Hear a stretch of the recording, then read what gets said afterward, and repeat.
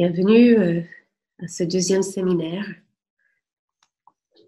Nous sommes maintenant au deuxième séminaire de recherche de l'école de la cause freudienne à Marseille avec le professeur Hervé Castanet, qui est psychanalyste à Marseille, membre de l'école de la cause freudienne et de l'Association mondiale de la psychanalyse et auteur d'une trentaine d'ouvrages. Pendant le premier séminaire, il y a 15 jours, Hervé Castanet nous a parlé de Das Ding, ou la chose. C'est un hors signifié, comme Lacan a dit dans le passage dans le séminaire 7 que Hervé Castanet nous a commenté la dernière fois. Et dans la chose se trouve, dit Lacan, quelque chose qui veut. Peut-on faire un lien entre ce quelque chose qui veut la phrase vivre la pulsion dont parlera Hervé Castanet aujourd'hui. Cette phrase vivre la pulsion se trouve dans le dernier cours du séminaire 11. Lacan l'énonce lorsqu'il pose une question sur la fin de l'analyse. Comment vit-on la pulsion après une analyse? C'est en 1964 et Lacan appelle cela l'au-delà de l'analyse et ajoute que cela n'a jamais été abordé. Ce n'est pas étonnant que Lacan veuille aborder ce nouveau terrain quand on se rappelle que pendant ce séminaire 11, Lacan a abandonné son retour à Freud pour développer sa propre pensée et les fondements de la psychanalyse. Et c'est confirmé quelques années après, en 1967, quand Lacan écrira sa proposition du 9 octobre sur le psychanalyste de l'école. Cette proposition est sur l'invention de la passe. Avec la passe, on témoigne des connaissances acquises lors de son analyse. On connaît son désir, ses causes, le manque qui est à la base de ce désir, et le plus jouir qui comble ce manque. C'est la passe du sujet du savoir qui a traversé le fantasme. Dans cette proposition de 67, Lacan utilise le concept de sujet, notamment pour élaborer le matin du transfert à partir du sujet supposé savoir. Un sujet, dit-il, est supposé par le signifiant qui le représente. Le transfert, un des quatre concepts fondamentaux de la psychanalyse, est bien sûr développé déjà en 64 dans le séminaire 11.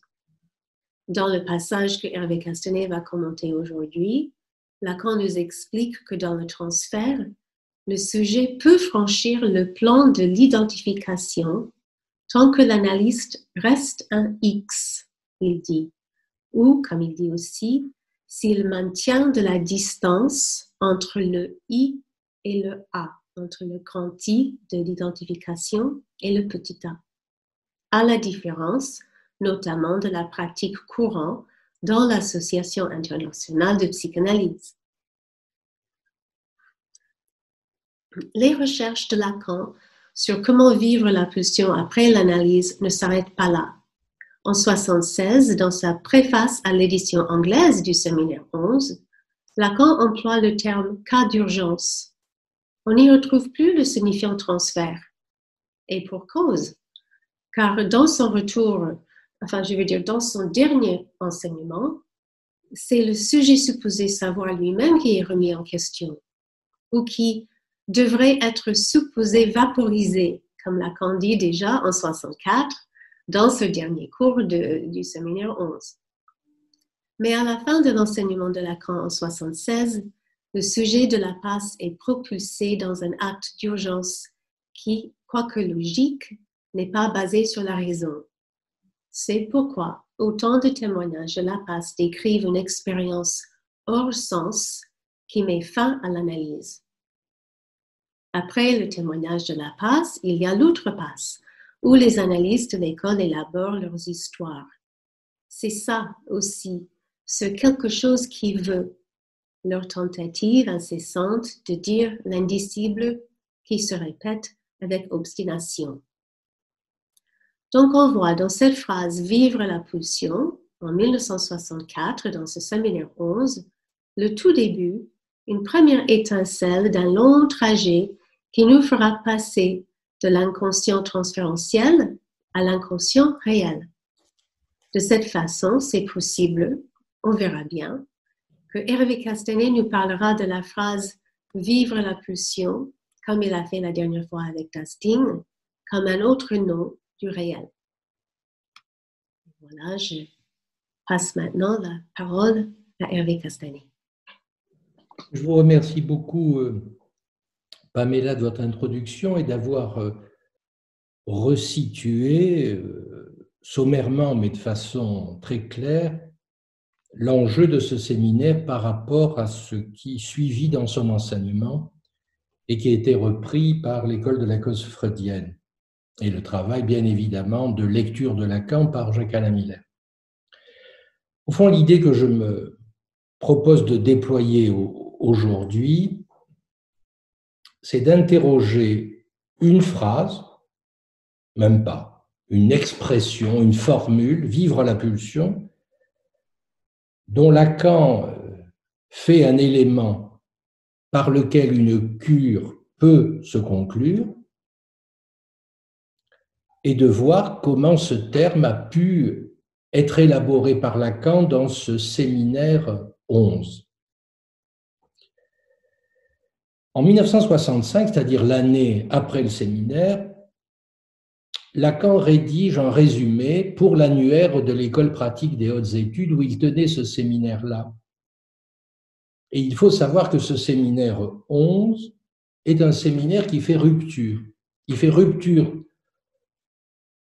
au moins en ceci qu'il y a un changement de lieu. C'est le premier cours d'une série qui a lieu à l'école normale supérieure de la rue d'Ulm à Paris, alors que généralement Lacan enseignait dans les hôpitaux, et notamment à Sainte-Anne. Et il y a un changement de public, puisque n'assistent plus à son séminaire seulement les spécialistes, c'est-à-dire les psychanalystes et les psychanalystes en formation et les psychiatres des services, mais c'est un auditoire accru et nouveau. Et c'est dans ces lieux, quelques années après, que le tout Paris intellectuel se pressera pour, pour, écouter, pour écouter Lacan. Alors il faut savoir que dans ce texte de 1965, et je vais citer les quatre concepts dans une version de poche qui est celle-ci, et non pas dans la version grand format. Donc à la page 313, il dit que ce séminaire de l'année précédente, donc de 64, constitue un organon, c'est-à-dire un organe au sens d'un instrument, à des fins de propédeutique. Je le cite, permanente, donc restait la question qui fait notre projet radical, celle qui va de la psychanalyse est-elle une science à qu'est-ce qu'une science qui inclut la psychanalyse. C'est-à-dire que changeant de public, en quelque sorte s'adressant plus simplement au milieu psychiatrique et psychanalytique, s'adressant à des universitaires, il pose son séminaire comme dialoguant de plein pied avec la science, qu'il écrit avec un S majuscule. Et pour lui, la science, elle a commencé à pouvoir porter ce nom au XVIIe siècle avec la rupture accomplie euh, par Descartes dans le champ de la philosophie et sa façon d'autonomiser par le doute le champ scientifique. C'est ça le projet de Lacan. Dialoguer avec la science. Alors que la dernière fois, nous avions vu à propos de Dasdin qu'il essayait de dialoguer avec la philosophie et avec la théologie, avec la chose, avec le souverain bien, avec qu'est-ce qui doit conduire nos actions, voire notre désir. Là, une autre question. La psychanalyse est-elle une science? Et c'est surtout la deuxième question qui est essentielle. Qu'est-ce qu'une science qui inclut la psychanalyse? Je ne vais pas répondre à la première question, la psychanalyse est-elle une science? Parce que tout va dépendre de la définition qu'on donne à la science. Et ceux qui ont l'habitude des textes savent que vous savez que si on reprend les catégories de Karl Popper, la psychanalyse n'est pas, au sens de Karl Popper, une science. Ce qui est essentiel, c'est qu'est-ce qu'aujourd'hui, en 64, mais aujourd'hui, en 2020, qu'est-ce que c'est qu'une science? Qui accepte et qui inclut la psychanalyse Et du reste, dans la première ligne du chapitre 16, que vous trouvez à la page 228, donc en 64, Lacan n'hésite pas à écrire Si la psychanalyse doit se constituer comme science de l'inconscient, il convient de partir de ce que l'inconscient est structuré comme un langage. En quelque sorte, cette phrase est construite sur le modèle que Freud a lui-même utilisé en 1915 lorsqu'il ouvre sa métapsychologie et son texte sur les pulsions et destin des pulsions, lorsqu'il dit une science doit partir d'un concept inaugurale à partir duquel elle construit son champ disciplinaire. Et il prend l'exemple de la physique et du concept de force. Eh bien, Lacan, en quelque sorte, fait sur ce modèle-là, très classique, d'une épistémologie que n'aurait absolument pas renié un grand épistémologue comme Gaston Bachelard, à savoir science de l'inconscient, voilà ce qu'est la psychanalyse, qu'est-ce que l'inconscient? Le concept clé, le concept fondamental, découvert, inventé d'une certaine façon comme tel par Freud, l'inconscient est structuré comme un langage, et cette référence à la structure a, vous le savez, fait les beaux jours de ceux qui ont inclus dans le mouvement structuraliste Jacques Lacan lui-même. Ce qu'on a appelé aux États-Unis, par exemple, la French Theory. Donc, vous voyez que rien que cette formulation de la page 228, à l'orée du séminaire 16, c'est une formulation digne de la fondation d'un discours scientifique, d'un champ disciplinaire particulier. Science de l'inconscient. C'est un thème qui ne réutilisera pas ensuite tout à fait de la même façon, mais là, on prend ce qu'il dit en 64. Si l'inconscient est structuré comme un langage, c'est la définition qu'il en donne, qui ne cesse d'élaborer depuis qu'il fait enseignement, c'est que l'autre, grand A, est là, comme il dit, page 254, en une formule ramassée. Et que cette définition crée une topologie, qui est un terme aussi emprunté au discours de la mathématique. Il dit c'est une topologie qui rend compte de la constitution du sujet. On dit, vous voyez, déjà d'emblée, il continue en quelque sorte cette épistémologie, je dirais, élémentaire, au sens des mathématiques élémentaires, au sens des structures élémentaires de la parenté dont parlait À savoir la psychanalyse égale science de l'inconscient. Qu'est-ce que l'inconscient? Il est structuré comme un langage. Une topologie est fondée qui permet la constitution du sujet. Et le sujet, sur lequel va opérer la cure analytique. Ce n'est pas le sujet en général, ce n'est pas le sujet de l'histoire, ce n'est pas le sujet au sens juridique, ce n'est pas l'individu, ce n'est pas la personne, c'est le sujet au sens de la psychanalyse, le sujet dans la séance analytique, qui ne se saisit pas dans sa matérialité concrète, à savoir l'individu, homme ou femme, qui s'allonge. Et il insiste, il martèle, la constitution du sujet, le sujet lui-même surgit de la structure du signifiant. Vous voyez que déjà, les formulations j'insiste, d'épistémologie élémentaire font entendre qu'il donne les définitions comme un physicien le ferait, comme un physiologiste le ferait, comme un mathématicien le ferait, etc., pour dialoguer avec son nouveau public. Il ne dit pas la cure, voilà. Non, il dit d'abord la science. Et la thèse qui, qui émerge très rapidement, c'est que la constitution du sujet, comme effet du signifiant, ça ne suffit pas à créer une topologie propre au champ analytique.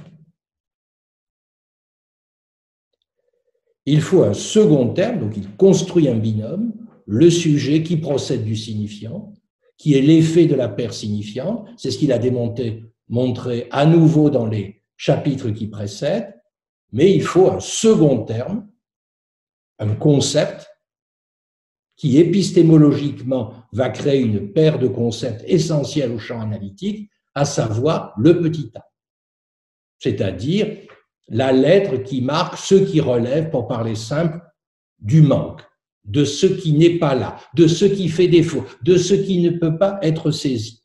Et là, sous petit a, qui est une lettre, vous ne saisissez pas le petit a au creux de la main, c'est une lettre comme les lettres de l'algèbre en mathématiques. Vous ne vous demandez jamais, mais est-ce que je peux saisir le petit a, le petit b, le petit c, etc.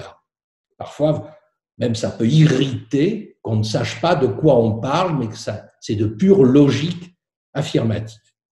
Mais néanmoins, parce que Lacan est clinicien, il dit sous le petit a, la lettre petit a, venant indexer le manque, il y a il y a des objets qu'on peut en quelque sorte énumérer. Et il dit, la doctrine freudienne, notamment euh, celle que Freud élabore dans les trois essais sur la théorie sexuelle, dans la première euh, rédaction date de 1905, et ça va jusque dans les années 1920 pour les ajouts, eh bien, Freud lui-même distinguait deux types d'objets.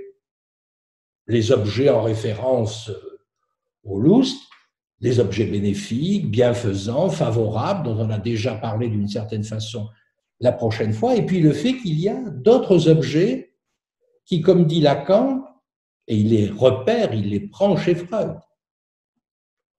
peuvent ne servir à rien. Et ils n'ont pas de concrétude. Ils ne sont pas saisissables dans le champ empirique, alors même que quand il les énumère, vous allez avoir des images qui vous sautent aux yeux, puisque les quatre objets freudiens, les deux, quatre objets sont deux élaborés par Freud, le sein et euh, et pour Lacan, il y ajoute le regard et la voix. Mais le sein ne fonctionne qu'en tant que perdu, l'FSS en tant que expulsé et perdu, le regard en tant qu'il ne se voit pas, et la voix en ceci que vous ne l'entendez pas. Paradoxe. Paradoxe. Donc j'ai voulu insister sur cet enjeu qui constitue et qui ordonne le séminaire 11. Dialoguer avec la, avec la science. Et à l'intérieur de cette question, j'en ai isolé une, une seule, qui me semblait importante à reprendre, importante pour un analyste, importante pour des analysants, importante pour ceux qui s'interrogent et s'intéressent à la psychanalyse. Et cette phrase, Pamela l'a très bien déjà citée en la resituant, c'est cette phrase que l'on trouve le, dans la séance du 24 juin 1964, à la page 304, j'insiste, de la version de poche, où Lacan dit comment un sujet, c'est-à-dire le sujet analytique, le sujet de la séance, comment un sujet qui a traversé le fantasme radical peut-il vivre la pulsion? Je vais reprendre la phrase, évidemment. Et j'ai isolé l'expression vivre la pulsion. Et quand on fait surgir cette expression, elle est datée. Ceux qui ont l'habitude de, lire Lacan disent Vivre la pulsion, oui, fin du séminaire 11, 1964. Et je me propose de la déplier exclusivement en faisant référence au séminaire 11. Pas ce qui précède, pas ce qui suit. Beaucoup précède, beaucoup suit, mais là, je fais de l'épistémologie moi aussi, enfin j'essaye de faire de l'épistémologie élémentaire. Un concept doit être rapporté à son lieu d'émergence et de définition. Donc c'est la définition du concept en intention et on verra ensuite quelle est son extension. L'extension, c'est ce que a suggéré Pamela lorsqu'elle vous disait comment Lacan a repris la question de la fin. En disant concept en intention, variation en intention en extension, je, je cite des termes chers à l'épistémologue Canguilhem. Donc je me propose de relire le paragraphe d'où cette phrase est extraite, c'est-à-dire le contexte dans lequel l'expression surgit. Ça me semble être une méthode qui peut tenir la route. Et certains le savent très modestement, je ne sais pas partir pour la lecture d'un texte ou de faire un travail si je n'ai pas une méthode. Page 304, donc je lis le paragraphe. C'est au-delà de la fonction du petit a que la courbe se referme. Là où elle n'est jamais dite concernant l'issue de l'analyse, à savoir après le repérage du sujet par rapport au petit a, l'expérience du fantasme fondamental devient la pulsion. Que devient alors celui qui a passé par l'expérience de ce rapport opaque à l'origine à la pulsion? Je fais juste une petite incise, le repérage du sujet par rapport au petit a, vous en avez une illustration magistrale dans le séminaire 10 qui précède d'une année le séminaire 11 et qui est consacré, vous le savez, à l'angoisse L'angoisse que Lacan disait pas sans objet, puisque l'objet A s'y trouve engagé, et c'est cette rencontre avec l'objet A qui produit l'angoisse. Je reviens à ma citation, je répète la, phrase. Comment un sujet qui a traversé le fantasme radical peut-il vivre la pulsion? Il y a des termes dont je n'ai pas encore donné la définition, fantasme, pulsion, etc. On va progressivement. Il répond, cela, ah mais là, là, il a fait référence, cela est au-delà de l'analyse et n'a jamais été abordé.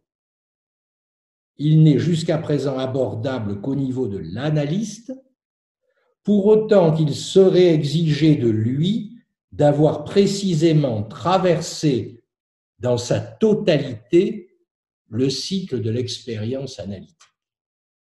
Au fond, les analysants ou les candidats à l'analyste sont tout à fait légitimes d'exiger, même s'ils ne vont pas faire passer un examen à leur analyste, ont tout un droit d'exiger que leur analyste ait mené son analyse jusqu'au point où ce point-là a été par lui abordé. C'est pour ça qu'on est si pénible dans les écoles analytiques de toujours interroger X ou Y qui veut travailler ici ou là, même si nos structures sont essentiellement ouvertes, vous le voyez ce soir, mais comme des dizaines d'autres, des centaines d'autres, néanmoins d'exiger, mais où vous en êtes de votre analyse? Et que sans ce point-là, eh bien, il est de notre responsabilité d'être extrêmement prudent. On est en droit d'exiger de, de l'analyste auquel on s'adresse que l'expérience de l'analyse jusqu'à son point de fin, d'issue, de finitude, ait pu être atteint d'une certaine façon. Et la façon n'est pas la même pour tous, mais on sait que le trajet est long pour l'analyste. Son analyse ne se fait pas comme si, en passant, comme ça. Ça marche pas comme ça.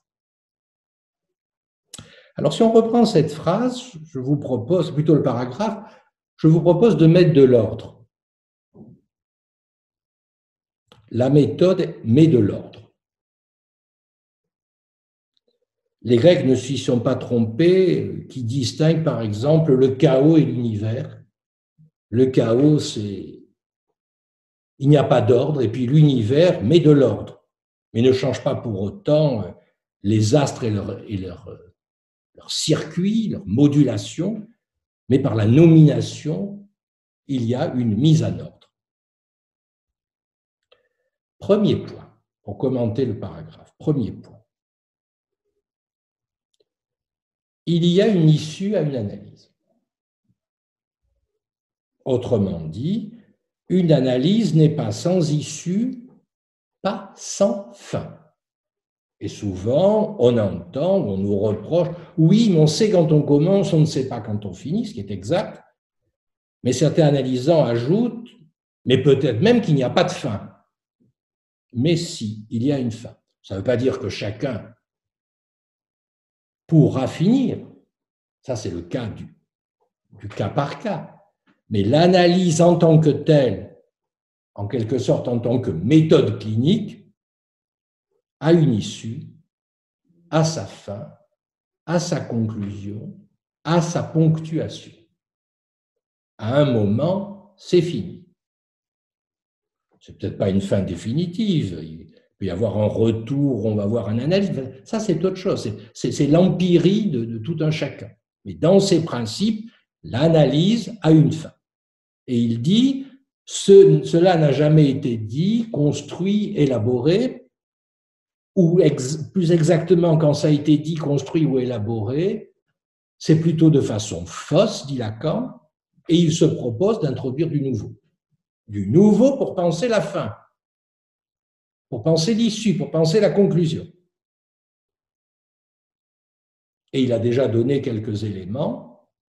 L'issue à l'analyse, l'issue pour une analyse, implique le petit a cet objet dont je vous ai dit, euh, qui vient indexer un manque, pour parler très simplement dans un premier temps. La place du petit a, à l'issue d'une analyse, est la condition de l'issue, soit la possibilité de sa terminaison et de sa conclusion. Sans le petit a, sans la place qu'il va occuper, sans le traitement dont il va être l'objet, pas de sortie possible. C'est du Lacan 64. Mais vous voyez la force de l'affirmation. Et c'est à partir de la place du petit a, telle qu'elle est élaborée dans le dernier chapitre, que je vous propose de remobiliser l'ensemble du séminaire 11, puisque le chapitre 20 est je vous propose de le vérifier vous-même en le lisant, est une reprise resserrée de tout le séminaire, c'est-à-dire des 19 chapitres qui précèdent. Autrement dit, tout à la fois, le séminaire 20 conclut le séminaire 11, chapitre 20 conclut le séminaire 11, et en même temps donne la conclusion de la cure. Deuxièmement, la référence au fantasme fondamental qu'il appelle aussi dans le paragraphe fantasme radical. Cette affaire se saisit, comme y insiste Lacan, par l'expérience, l'expérience de la cure, l'expérience analytique. D'où l'insistance depuis Freud que les concepts analytiques sont opératoires, efficients en référence à la cure et à la cure seule. Ensuite, il y a des connexions possibles. On peut éduquer, entre guillemets, freudiennement le peuple. Certes. Mais avant tout, ce sont des concepts internes à la pratique analytique. D'où la question, quelle expérience fait un analysant du fantasme, le sien, lorsqu'il se dévoile comme fondamental, comme radical. Je n'ai pas encore défini le fantasme, mais vous voyez déjà apparaître euh, sa silhouette. Pour ceux qui ont lu les textes, évidemment, la définition est connue. Pour, pour les autres, elle est peut-être un peu plus floue. Disons que le fantasme, c'est cette petite machinerie inconsciente qui fait qu'au fond, vous êtes agité dans le monde, que vous n'êtes pas des flaques, que ça vous tient, comme l'on dit. Vous ne savez pas très bien ce qui vous tient, mais vous savez que ça vous tient. Ou vous savez que ça ne vous tient pas, lorsqu'évidemment, ça vacille douloureusement. Donc, quelle expérience l'analysant fait du fantasme fondamental et radical, et il parle d'un thème j'ai l'impression que Miller insistait sur ce point. Lacan ne l'emploie qu'une seule fois, traversée du fantasme. C'est dans ce texte-là, alors que vous savez, on a longuement insisté sur la fin de cure comme traversée du fantasme. Ensuite, on a trouvé d'autres termes, mais néanmoins, c'est vrai que la fameuse traversée du fantasme, comme prouvant la fin d'une analyse après l'expérience, se trouve dans ce dernier chapitre. Le fantasme est donc référé en quelque sorte à un paysage, à une architecture, voire à un labyrinthe, qui ne se donne pas d'emblée, mais implique un trajet, un parcours, une découverte, bref, une traversée. Et le trajet, le parcours, la découverte, la traversée effectuée, c'est ce moment où, en quelque sorte, c'est une image évidemment, on se retourne et on voit comment tout cela s'était ordonné et on fait l'épreuve que ce n'était pas n'importe comment et qu'en quelque sorte le terme de, destin n'était pas tout à fait inadéquat. Ce qui fut mon destin. On dit traverser en français un fleuve, une région hostile, etc. C'est dans ce sens-là que vous devez prendre traverser. À la page 206-207 du séminaire 11, Jacques Alain Miller, qui euh, cette année-là a 22 ans et est étudiant à l'École normale supérieure de la rue d'Ulm en philosophie, donc Jacques Alain Miller demande à Lacan de lui apporter des distinctions, des précisions conceptuelles, des définitions. Il lui dit, mais quid de l'objet du fantasme? Quid de l'objet de la pulsion, quid de l'objet du désir. Et vous verrez que souvent dans les séminaires de Lacan, lorsqu'on voit les questions de Jacques-Alain Miller, ce sont des questions de précision, des questions de vous employez un terme, quelle définition vous en donnez, c'est-à-dire qu'il ne choisissait pas, Miller, d'interroger Lacan en partageant avec lui une sorte d'ineffable de l'expérience. Il pose des questions à partir de la raison, à partir d'épistémologie. Et Lacan appréciait ce type de questions.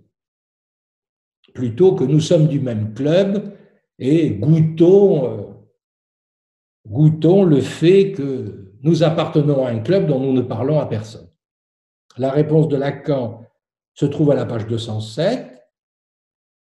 C'est des définitions un peu serrées, mais vous allez voir qu'elles sont assez facilement entendables. Dans le fantasme, dit-il, le sujet est fréquemment inaperçu, mais il y est toujours. Le sujet se situe lui-même comme déterminé par le fantasme. Et vous voyez la petite remarque que j'utilisais, ce qui fait tenir ou pas tenir, tout dépend comment le fantasme est construit, mais le fantasme a cet effet de déterminer le sujet, et il ajoute cette phrase, Lacan, souvent citée, très utile pour les cliniciens, même s'ils n'exercent pas la psychanalyse, s'ils sont psychiatres, sont psychologues, etc., c'est que le fantasme est le soutien du désir, et ce n'est pas l'objet qui est le soutien du désir. dans le séminaire, dans le séminaire 6, Lacan construit euh, l'objet du désir, le petit a, comme cause du désir. Mais le, le fantasme, il soutient le désir. Et dans son compte rendu de son séminaire de 1966-1967, La logique du fantasme, que vous trouvez dans les autres écrits parus au seuil à la page 326, je fais une petite excursion postérieure, Lacan dit le fantasme est un axiome. C'est un clavier logique. Attention, un clavier logique qui en quelque sorte inscrit, inscrit de la jouissance sur le corps, pas sans les mots. Ça vous tient d'autant plus que c'est ainsi. Pour ceux qui ont un peu l'habitude des concepts, que le fantasme, au fond, soit un axiome, qu'il détermine le sujet, c'est ce que Lacan, après, interrogeant ce que le fantasme machine, dira, vous êtes les jouets de la jouissance. Nous sommes joués, J-O-U-E-S, par la jouissance. Et Lacan, dans le texte de 66-67, disait, il n'y a pas d'autre entrée pour le sujet dans le réel que le fantasme. Autrement dit, la traversée du fantasme, vous avez compris ce que je fais. Je reprends les différentes parties du paragraphe cité. En quelque sorte, je fais le plan de la maison, mais je ne dis pas encore très bien à quoi servent les pièces, comment on fait, quels sont les usages. Je, fais une méthode assez classique, qui parfois m'est reprochée par certains, mais je ne changerai pas, c'est-à-dire je fais du parthèse extra-parthèse. C'est ma façon à moi, très modeste, d'être cartésien et de séparer ce qui doit l'être. La traversée du fantasme débouche donc sur cette expérience et cette épreuve du petit a comme index du rêve. Et même la traversée, c'est Lacan qui le dit à la page 304, la traversée du fantasme isole le petit a. C'est un travail d'isolation, d'extraction même de l'objet. En quelque sorte, on le sort de la gangue, il faudra savoir laquelle, dans laquelle il se trouve. C'est un travail euh, musclé. L'analysant est un travailleur.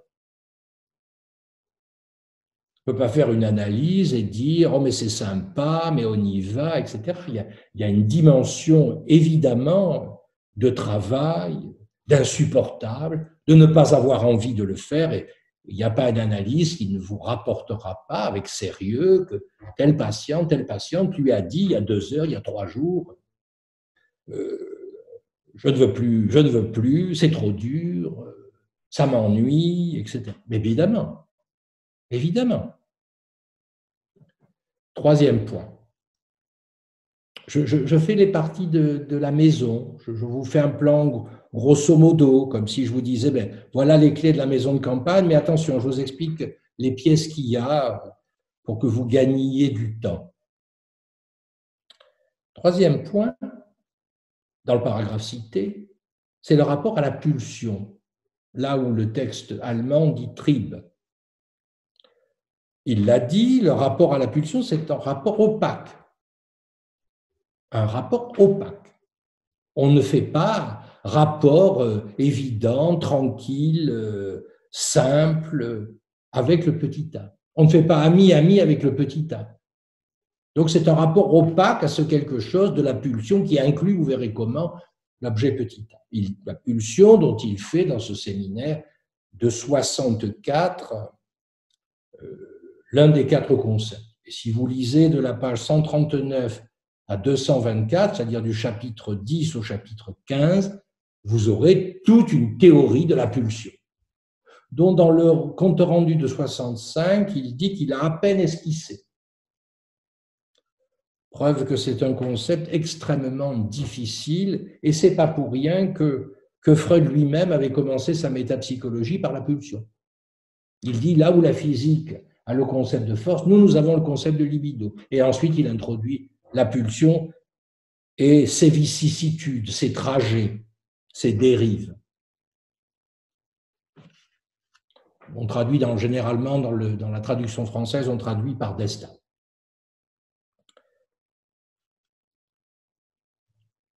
Mais le rapport à la pulsion, c'est le rapport à quoi exactement si c'est opaque? Il faut quand même le préciser. Vous avez une réponse à la page 168. Lacan est clair, il dit allons au fait. La réalité de l'inconscient, c'est vérité insoutenable, la réalité sexuelle. Et cette phrase, au fond, c'est du Freud dans le texte, puisque Lacan ajoute en chaque occasion, Freud l'a articulé, si je puis dire, mordicus. Donc vous avez le rapport à la pulsion, vous avez l'inconscient et la réalité sexuelle de l'inconscient. Qu'est-ce que c'est que l'inconscient? Il est structuré comme un langage. D'accord. Première définition. On a compris, l'inconscient va être lu avec l'appareil doctrinal de la découverte saussurienne. Le signifiant en tant que tel ne signifie rien. Saussure disait le signe en tant que tel ne signifie rien, et il construisait le terme de valeur. Si vous lisez son cours de linguistique générale, c'est très bien explicite. Donc le signifiant en tant que tel ne signifie rien. Lacan l'a admirablement aussi développé dans son séminaire 3 à propos des psychologues. D'accord D'accord Mais des signifiants de quoi? Ils représentent le sujet. D'accord. Mais est-ce tout? Mais non. Parce que ce qui est représenté dans l'inconscient, dans les définis grâce au défilé du signifiant, c'est la thèse freudienne que ne récusera jamais Lacan. Au contraire, alors qu'un Jung n'a plus voulu en entendre parler, à savoir la réalité de l'inconscient est sexuelle. Vous devez sortir sexuel du génital, évidemment. Et comment ça s'articule? Il vous faut un terme qui fait pont, qui articule en quelque sorte l'inconscient et la réalité sexuelle. C'est la pulsion. La pulsion chez Freud, elle permet d'articuler la vie sexuelle, qui pour lui pouvait avoir pour Freud un substrat organique, physiologique, et la réalité psychique, la vie psychique pour ça que Freud insiste beaucoup sur la pulsion comme un concept entre le somatique et le psychique, même si le somatique, à ce moment-là, dans ce texte, n'est pas réductible à l'organique. D'où la formule de la page 198, la pulsion sans doute représente, mais ne fait que représenter et partiellement la courbe de l'accomplissement de la sexualité chez le vivant. le terme vivant est, déterminant parce qu'il n'y a de sexualité que d'être vivant, que chez l'être vivant. Le sexuel est, lié au vivant. Il est lié, vous diront euh, les anatomistes ou les biologistes, par la reproduction elle-même.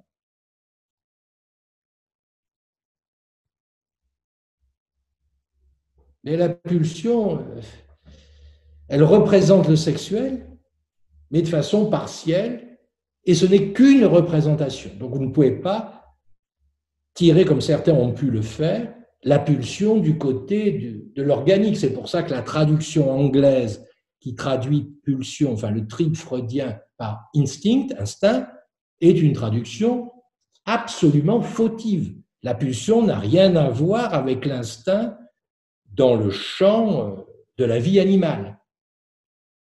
La pulsion, c'est un appareil, je dis un appareil parce qu'il est constitué de quatre termes que Freud a isolés, la pulsion, c'est un appareil qui sert à représenter, et qu'à représenter, et de façon partielle. En cela, ce n'est pas de l'instinct. Du reste, il n'y a pas d'instinct dans le champ analytique.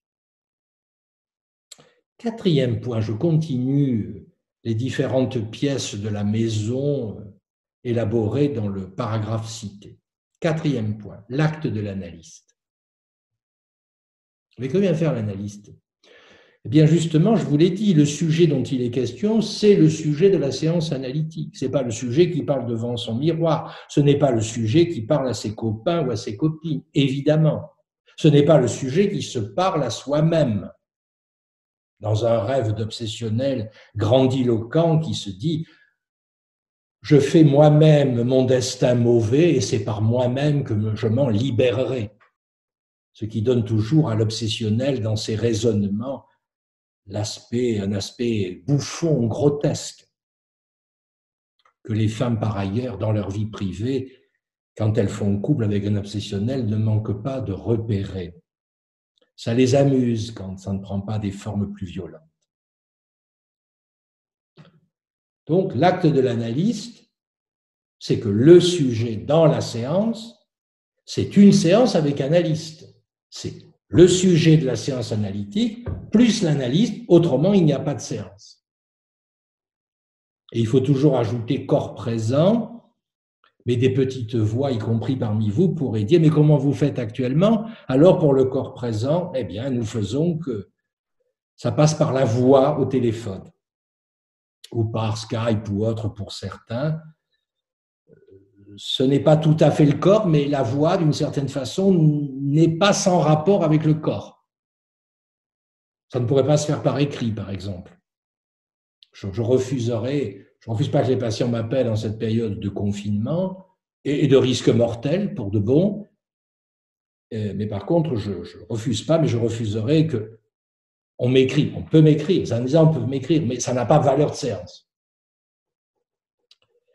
Donc l'acte de l'analyste, qui est en quelque sorte le partenaire du sujet de la séance analytique, et l'analyse, bien sûr, vous allez le voir incarné par M. X ou Mme Y, mais l'analyse ne se réduit pas à la personne qui supporte la fonction. Là, c'est la fonction de l'analyste.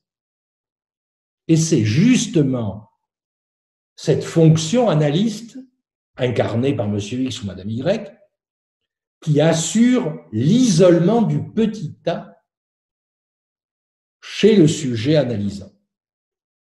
J'insiste, bien entendu, le désir de l'analyste, certains trouveront que ma, ma précision euh, ne sert à rien parce qu'ils le savent déjà, mais je le répète quand même, le désir de l'analyste, ce n'est pas le désir privé de la personne de l'analyste, Monsieur X ou Madame Y, puisque de son désir, vous n'avez rien à faire.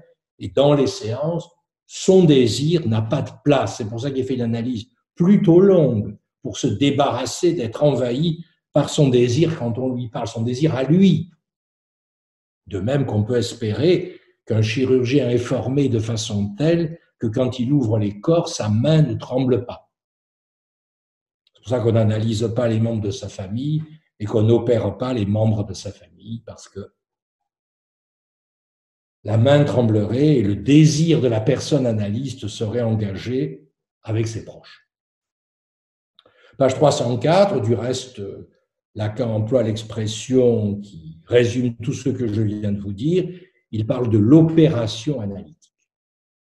L'analyste, sa fonction incarnée, est le support du petit A séparateur et l'analyste est l'index de la rencontre du réel. Ça, c'est très important de l'entendre déjà, avant que je ne, je ne revienne dans le texte de façon plus ample, c'est-à-dire qu'après avoir parlé de chaque pièce, je m'efforce d'en donner à peu près l'ordonnancement, c'est que l'analyste, au fond, c'est le gâte-sauce de la séance. D'abord, les, patients ne se manquent, pas de le dire. Si vous étiez pas là, j'y ai pensé, vous me l'avez fait oublier, venir vous voir, quelle tête vous avez, etc. Et parfois, ils vont rêver euh, qu'ils tuent vos enfants, votre femme et vous-même aussi. Vraiment, c'est ce qui permet à l'analyse de ne pas tourner en rond et qu'on ne parle pas devant son miroir ou qu'on n'écrit pas des ouvrages autobiographiques, où généralement c'est là où on noie le plus souvent le poisson. Cinquième pièce, cinquième point, cinquième euh, caractéristique de cette architecture du paragraphe. Je le rappelle, je, vous lis le paragraphe de la page 303, 304. L'objet petit a, page 297, Lacan dit l'objet petit a est cet objet qui, dans l'expérience même, dans la marche et le procès soutenu par le transfert, se signale à nous par un statut spécial. Alors évidemment, c'est souvent ça l'ambiguïté de la psychanalyse, c'est qu'elle emploie parfois des termes courants pour leur donner des acceptions nouvelles. Quand vous dites objet, vous pensez à la chose. Pouvez dire de votre portable, c'est un objet, que vos clés, que ce sont des objets, que votre voiture, c'est un objet, enfin des objets concrets, palpables, comme disait la phénoménologie allemande, des pragmata. Et ce que disaient les marxistes, quand je les lisais beaucoup dans ma jeunesse, appelé le pratico-inerte. Mais simplement, l'objet là dont il est question, il est sans consistance, autre que logique, et il n'appartient pas au monde des objets concrets, au monde de l'environnement des objets. Peu importe. Dégager le statut du petit a permet de livrer, de livrer la logique de la phrase citée vivre la pulsion. Autrement dit, cette dernière formulation, qui est de mettre de l'ordre, un peu d'ordre dans le paragraphe de la page 304, c'est ce à partir de quoi les quatre points précédents qui permettent de mettre de l'ordre peuvent trouver leur place et leur logique. Le petit a est au-delà de la logique signifiante. Vous savez qu'on a souvent dit de Lacan que c'était le maître du signifiant, de la logique signifiante, de la parlotte, etc. Mais il y a, comme Miller l'avait dit, devant Lacan à Caracas en 1980, il y a un autre Lacan. Et cet autre Lacan, c'est le Lacan de l'objet, c'est le Lacan du petit A, c'est le Lacan du fantasme, c'est le Lacan de la pulsion. Et si on ne prend que le Lacan, maître du signifiant, on ne pige rien au travail de Lacan.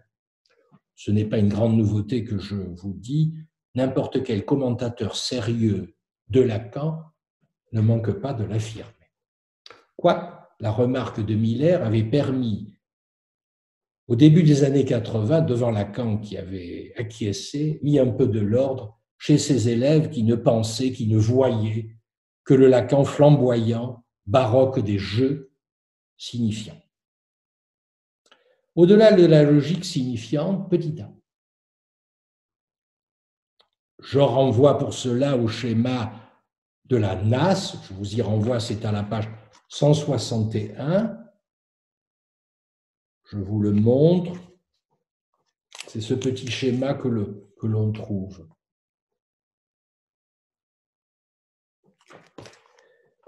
Ce schéma de la NAS, page 161, qui est un modèle, dit-il, problématique, c'est-à-dire un modèle qui met en forme le problème.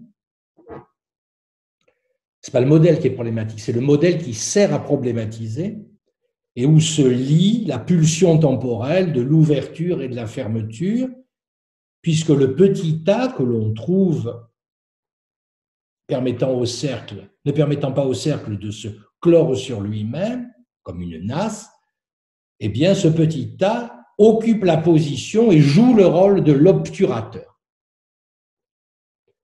Et page 160, il dit que justement, le petit a, en quelque sorte, il objecte à l'isola psychologique. Bon, je ne suis pas psychologue, je n'ai jamais été, mais ma critique souvent de la psychologie, comme beaucoup, c'est de voir que la psychologie résonne en termes d'isola, c'est-à-dire d'unité complète et fermée, alors que justement le petit a décomplète immédiatement l'isola psychologique. Le sujet de la séance n'est pas un isola psychologique. Ça pourrait même être écrit sur les cahiers euh, à l'université le sujet de la séance analytique n'est pas un isolat psychologique, puisque justement, il y a le petit a qui sert à déontologiser l'inconscient, qui sert à en faire une unité en quelque sorte repliée, fermée sur elle-même, comme si vous voulez un sac de billes qu'on n'ouvrirait pas. Le petit a indique, inscrit la béance de l'inconscient le fait qu'il s'ouvre et qu'il se ferme, qu'il est pulsation, et que c'est la grande définition que donne Lacan au début du séminaire 11. L'inconscient, dit-il, phrase admirable, la première fois que je l'ai lu, dans les années 70, la première fois que j'ai lu cela, l'inconscient, c'est l'évasif. Ça, ça venait rompre avec tous les systèmes de la continuité et ouvrant la discontinuité de la pulsation. L'inconscient, c'est l'évasif. L'inconscient a une temporalité qui lui est propre sur le modèle ouverture-fermeture et une temporalité qui n'est pas cyclique, mais qui est pulsative, c'est-à-dire qui n'a rien à voir avec la montre, la durée, qui ne sont que des formes de spatialisation de la temporalité. Autrement dit, l'inconscient n'est pas espace, l'inconscient est temps, TEMPS, mais temps avec la coupure et la pulsation temporelle, l'ouverture, la fermeture, l'ascension, la conclusion, nécessitent de poser le petit A comme obturateur de la NAS. Voilà, si vous voulez, les, cinq éléments que j'ai voulu isoler pour mettre de l'ordre, pour mettre de l'ordre d'abord pour moi dans le paragraphe de la page 304 dont était tirée la phrase où on trouve l'expression vivre la pulsion. Et maintenant, je, me dois, avec cette, cette, méthode, cette grosso modo, je l'ai fait assez, assez à, la, serpe, au fond, cette séparation, mais suffisamment pour que je puisse m'y retrouver. Donc, je vous propose maintenant de donner un peu de chair à tout ça, de voir comment ça s'ordonne, et qu'après avoir parlé des pièces de la maison, ça, me plaît cette idée du chapitre et du, et du séminaire comme maison, comme demeure, comme château si certains préfèrent, de voir comment on peut introduire une circulation, un cheminement, une traversée. Donc je reprendrai le chapitre 20 que Jacques-Alain Miller, qui a établi le texte, à nommer en toi plus que toi et que vous trouvez aux pages version poche aux pages 293 à 307.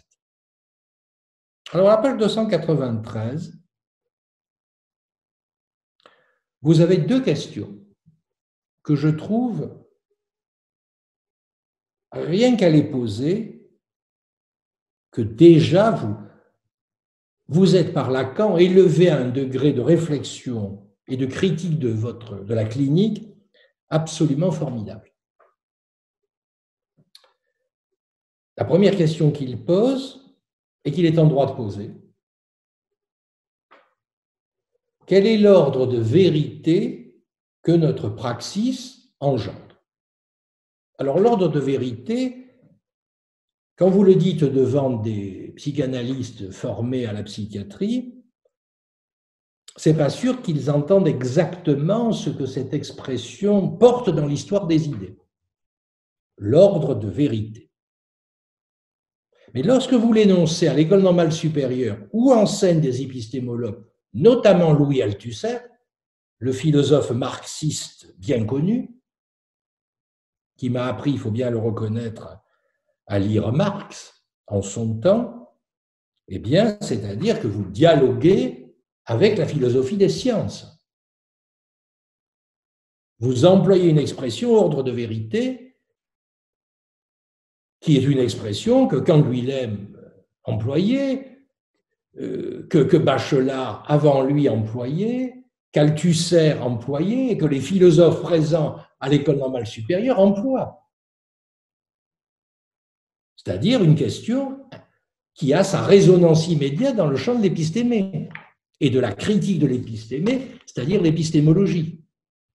Le terme a pu être employé, la vérité a pu être employée par Lacan bien avant, mais elle ne résonnait pas de la même façon si vous vous adressez à un public de philosophes en formation et d'intellectuels et à un public de psychiatres formés à la psychanalyse qui savent bien entendu euh, l'alpha et l'oméga de la, de la clinique et du trésor clinique de la psychiatrie, et c'est formidable, mais où pour eux, le terme ordre de vérité ne résonne pas comme à l'école normale supérieure. Deuxième question, qu'il pose toujours à la page 293. Comment dit-il nous assurer que nous ne sommes pas dans l'imposture Alors ça c'est formidable, parce que vous voyez que la, phrase elle peut toujours être posée sous forme de question aujourd'hui. Est-ce que la psychanalyse n'est pas une imposture et est-ce que les psychanalystes ne sont pas des imposteurs? Parfois peut-être des, imposteurs sympathiques, pas toujours, mais des imposteurs malgré tout. Et en même temps, l'imposture a son poids parce qu'elle fait référence, là aussi, à la rigueur de la science. Quand dans la science, vous dites à quelqu'un, vous êtes un imposteur, vous le récusez du champ de la science. Plus compliqué dans l'histoire de la, de la philosophie ou de la clinique. Après tout, un imposteur, qu'est-ce que c'est, qu'est-ce que c'est pas? Et lorsque vous êtes traité d'imposteur intellectuel, vous pouvez toujours répondre mais moi, je fais de la clinique au lit du malade et je guéris les gens. Et vous pouvez voir que imposture épistémologique et efficacité clinique, ce sont deux termes qu'on retrouve aujourd'hui à propos du, du professeur Raoult à Marseille, dont la femme, notons-le au passage, et psychiatre, ainsi que son beau-père qui était, euh, mari de sa femme, donc qui était psychanalyste, euh, Jacques Cain, en son temps. Bon. Vous voyez que la question, euh, elle a aujourd'hui sa, sa pertinence. Or, Lacan se pose dans cette question en dialogue direct avec science ou pas.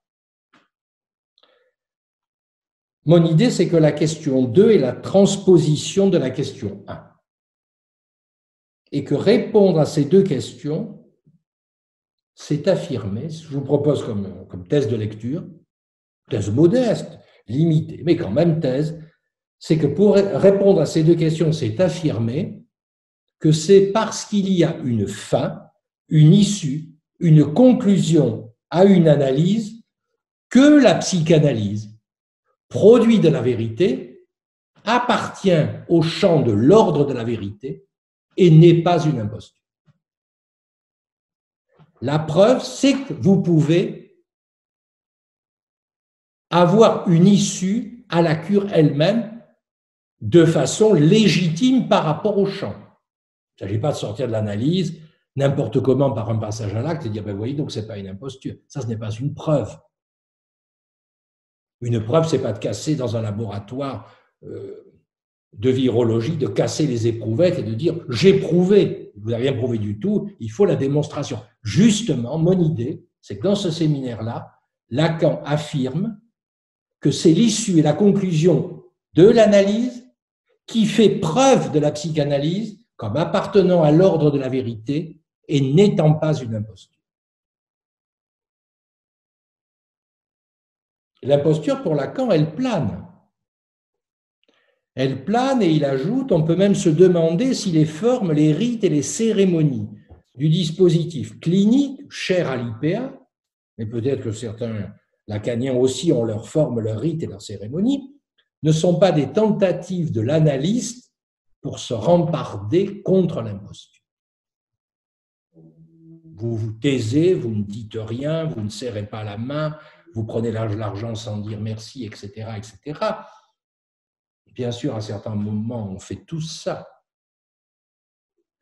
Et on peut toujours se demander si ce n'est pas une modalité pour se remparder contre l'imposture. Et c'est pour ça que Lacan insistait souvent qu'il y a une exigence de doctrine dans le champ analytique et pas simplement à respecter les formes, les rites et les cérémonies du club. Je parle comme au club, je fais comme au club. Pourquoi? Ah, j'en sais rien, mais tout le monde fait comme ça.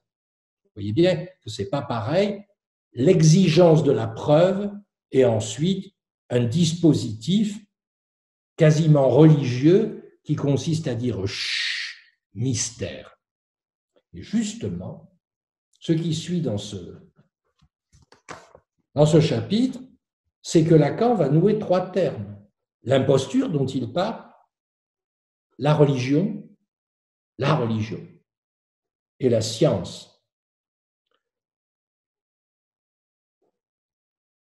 Or, cette religion a été qualifiée tout de go comme imposture par l'homme des Lumières, dont on parlait déjà la dernière fois dans le séminaire d'Asine à propos de la pensée des libertins, la pensée au sens fort, la philosophie des libertins, qui était aussi cet homme des Lumières, l'homme de plaisir. Et vous savez qu'ensuite, le 19e siècle a recouvert tout ça en devenant siècle victorien, la reine Victoria. L'exemple classique, c'est l'athéisme rationnel du marquis de Sade, qui fait de la croyance en l'être divin rien moins qu'une imposture. Par contre, la science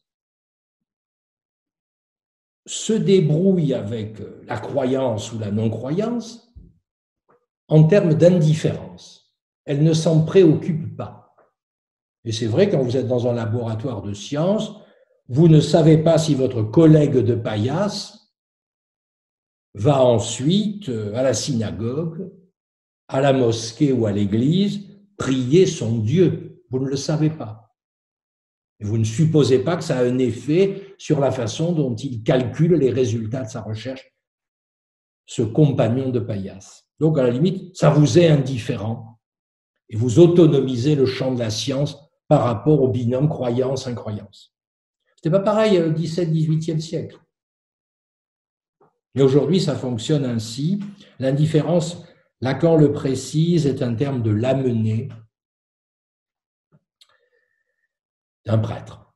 À page 295, vous avez la thèse, au fond, qui, que vous connaissez. C'est pour autant que la science élide, élude, sectionne, un champ déterminé dans la dialectique de l'aliénation du sujet, autrement dit, c'est en tant qu'elle rompt avec tout ce qui relève du sujet, qu'elle s'en sépare, qu'elle peut soutenir aussi le monde d'existence du savant.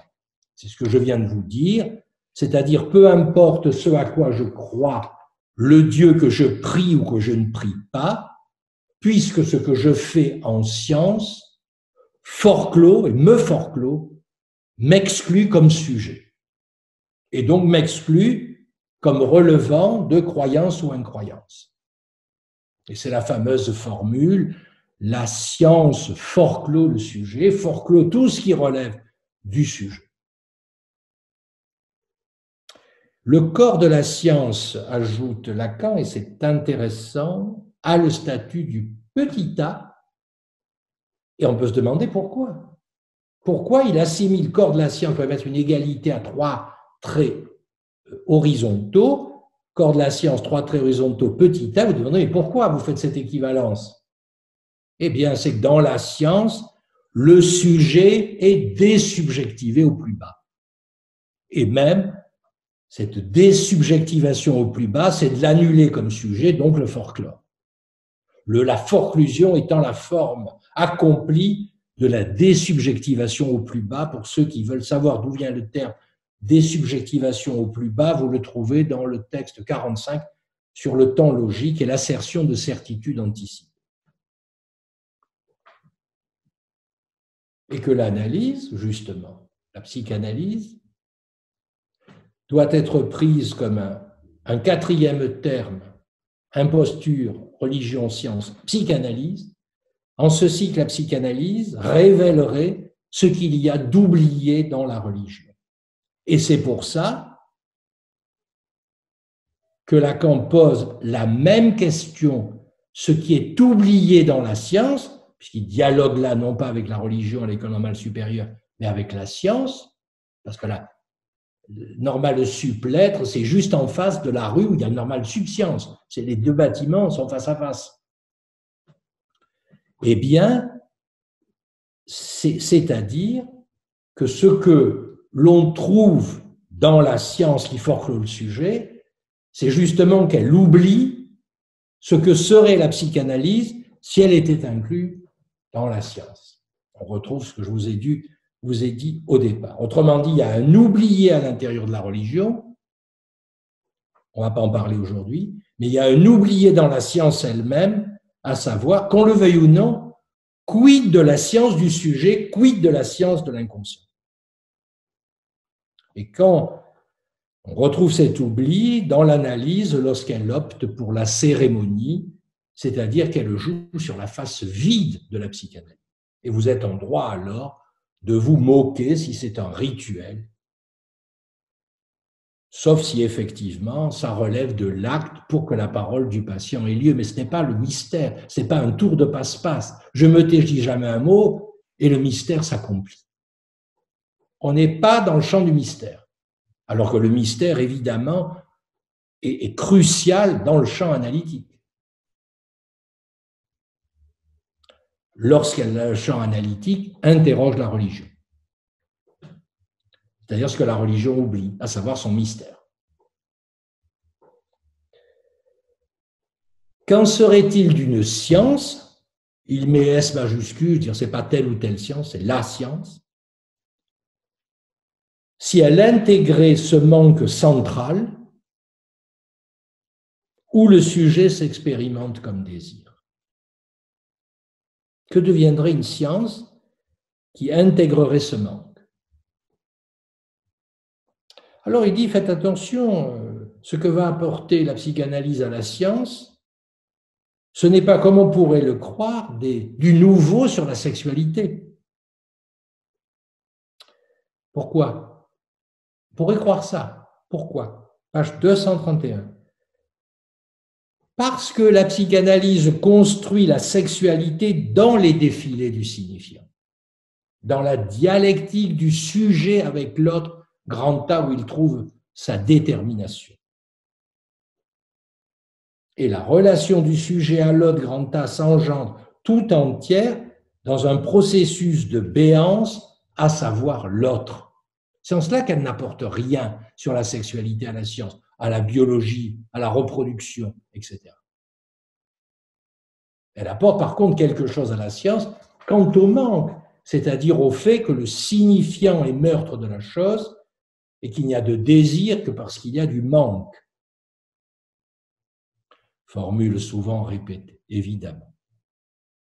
Résultat, c'est que si vous couplez ce qu'il vient de dire dans ce dialogue avec la science et de l'apport de la psychanalyse à la science, pas où on pourrait le croire. Avec la phrase sur la pulsion représente et ne fait que représenter la sexualité dans sa courbe d'accomplissement dans la vie psychique, ça veut dire que la pulsion, ce n'est pas l'instinct, évidemment, et elle est toujours partielle. Partielle, c'est-à-dire qu'il n'y a pas de pulsion de la reproduction. Alors que l'instinct, avec les périodes de fécondité dans le monde animal, rende compte du fait que justement il n'y a pas de pulsion, mais il y a l'instinct qui est un instinct en quelque sorte qui permet la reproduction de l'espèce. Et si la pulsion est partielle, ça veut dire qu'elle ne représente jamais la conjonction sexuelle ni la reproduction. Elle ne représente jamais dans l'inconscient, puisqu'il n'y a de représentation telle qu'on le décrit que dans l'inconscient. On s'occupe de l'inconscient lui-même, structuré comme un langage, vous vous rappelez que c'est la définition qu'il donne, au départ. Autrement dit, on arrive à une conclusion dans ces pages-là. C'est que la psychanalyse ne résulte ni de la science, ni de la religion, et que la preuve, la preuve, c'est l'objectif. On aurait aimé pour certains que la psychanalyse s'intègre à la religion, elle l'améliore en quelque sorte. Et il y avait un certain nombre de, jésuites qui étaient membres de l'école de Lacan, qu'il a fondée en cette année 64, l'école freudienne de Paris. On aurait aimé alors que la psychanalyse entre dans la science et que tous les épistémologues puissent lui faire la leçon en disant quelle méthode, est-ce que c'est reproductible indépendamment de l'expérimentateur? Si tu donnes le protocole, tu reproduis.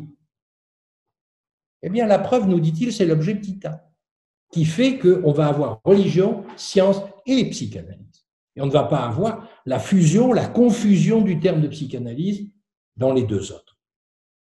Et page 297, l'affirmation tombe, le mouvement de la psychanalyse, dit Lacan, est à référer à l'objet.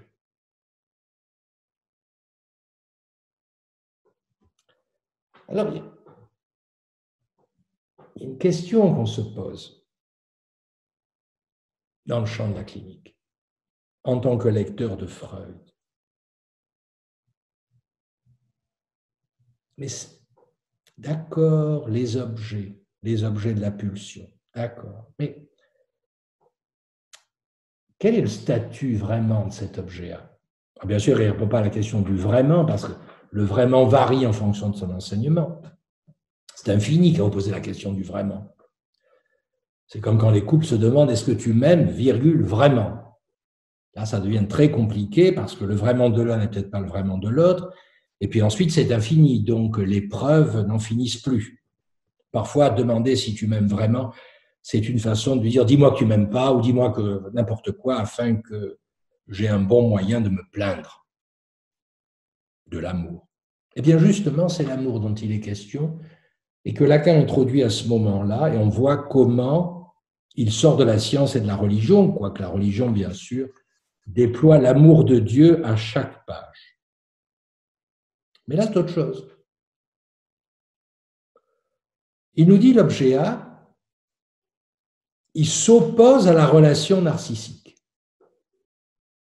La relation narcissique par où le sujet, le sujet de la séance, se fait objet aimable. De sa référence à celui qui doit l'aimer, il tente d'induire l'autre grand A dans une relation de mirage où il le convainc d'être aimable. Les analystes savent ça, où les patients leur expliquent, vous ne m'aimez plus. Vous ne me comprenez pas, j'ai bien vu, j'ai saisi. Il suffit qu'il y ait une pointe interprétative à l'œuvre, rien à voir avec la psychose dans ces, dans ces cas-là. Psychose, ça prend une autre forme, ça flambe autrement. Mais dans la névrose, a une, pointe de certitude, il ne m'aime plus, il ne me considère plus, il me prend pour une cruche. Je me rappelle d'une patiente, il y a très longtemps, que je ne reçois plus et qui me disait, mais vous me prenez, si vraiment vous me prenez pour ce que, que je crois, enfin, ajoutez pas que je crois, pour ce que vous me dites, alors je suis une cruche. J'avais repris la phrase en lui indiquant que c'est ce qu'elle croyait, elle, que je la prenais pour une cruche. jusqu'à ce qu'elle se soit aperçue qu'effectivement, sans rien que je lui dise, elle était déjà un peu cruche et que c'est là où sa névrose venait se cristalliser dans quelque sorte sa crucherie. Elle faisait la cruche pour être aimée de l'autre, donc de n'être surtout pas dangereuse.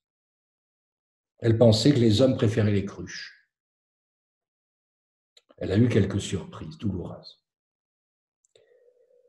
Donc, c'est l'idée de l'amour, dans ce cas-là, comme tromperie. Alors, c'est intéressant pourquoi il parle de ça, Lacan. Pour nous dire, faites attention, il y a deux types d'objets. Les objets, les objets A, l'objet A dont je parle, et que vous pourriez tirer du côté de l'objet narcissique, de tout ce qu'on appelle l'amour, le fatras de l'amour. Et on n'y échappe pas. Et il distinguera l'objet narcissique qu'il écrit petit i, ouvrez la parenthèse, petit a, fermez la parenthèse, petit i de A qui est une image qui est se rendre aimable, c'est tromper l'autre.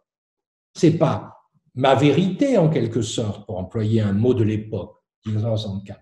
Ce n'est pas ma vérité qui est ma boussole, c'est est-ce que je vais être aimé par l'autre Et vous, qu'est-ce que vous voulez? Ah, je ne sais pas. Je ne sais pas. Dégager l'image narcissique, moment d'effondrement, voire d'hémorragie imaginaire, je ne compte plus pour l'autre, etc., avec la possibilité que le sujet retombe sur ses pieds et se demande, lui, elle, quid du désir Et très intéressant au niveau de la clinique, cette remarque.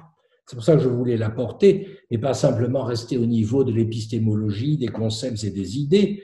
Il fallait donner de la chair, ce que nous sommes, vivants, confinés mais vivants, et bien vivants,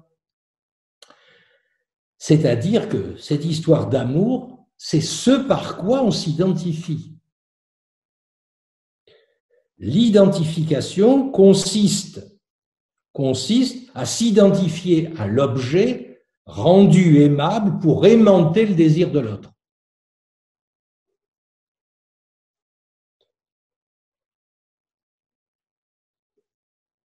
Si vous aimez des références en dehors du champ analytique, vous pourriez voir certains témoignages de Françoise Hardy, la, chanteuse, dans son lien avec Dutronc, et vous verrez comment euh, elle a construit toute une partie de son lien à lui sur le mode de la tromperie. Elle disait, mais il, il m'a jamais vu peut-être, il ne savait même pas que je chantais. Bien vous avez un second exemple du milieu de l'art entre Niki de Saint-Phal et Jean Tinguely, Et vous verrez comment, même si le lien était différent, Niki de Saint-Phal, victime d'un viol de son père dans son enfance, elle a publié un très beau livre là-dessus, euh, a dû tenter de réinventer quelque chose pour ne pas se soumettre à la volonté sexuelle de l'adulte. Les femmes en savent un bout sur cet objet narcissique, de l'amour comme tromperie, et du mirage qu'elle constitue pour être aimable. Les hommes toujours aussi lourds d'eau se sont souvent contentés de ce type de dispositif. Donc la psychanalyse n'y échappe pas. Dans la cure, il y a cette dimension, dans le transfert, comme l'on dit. Et pourquoi il y a une issue? Pourquoi ce ne serait pas infini d'aimer son analyste?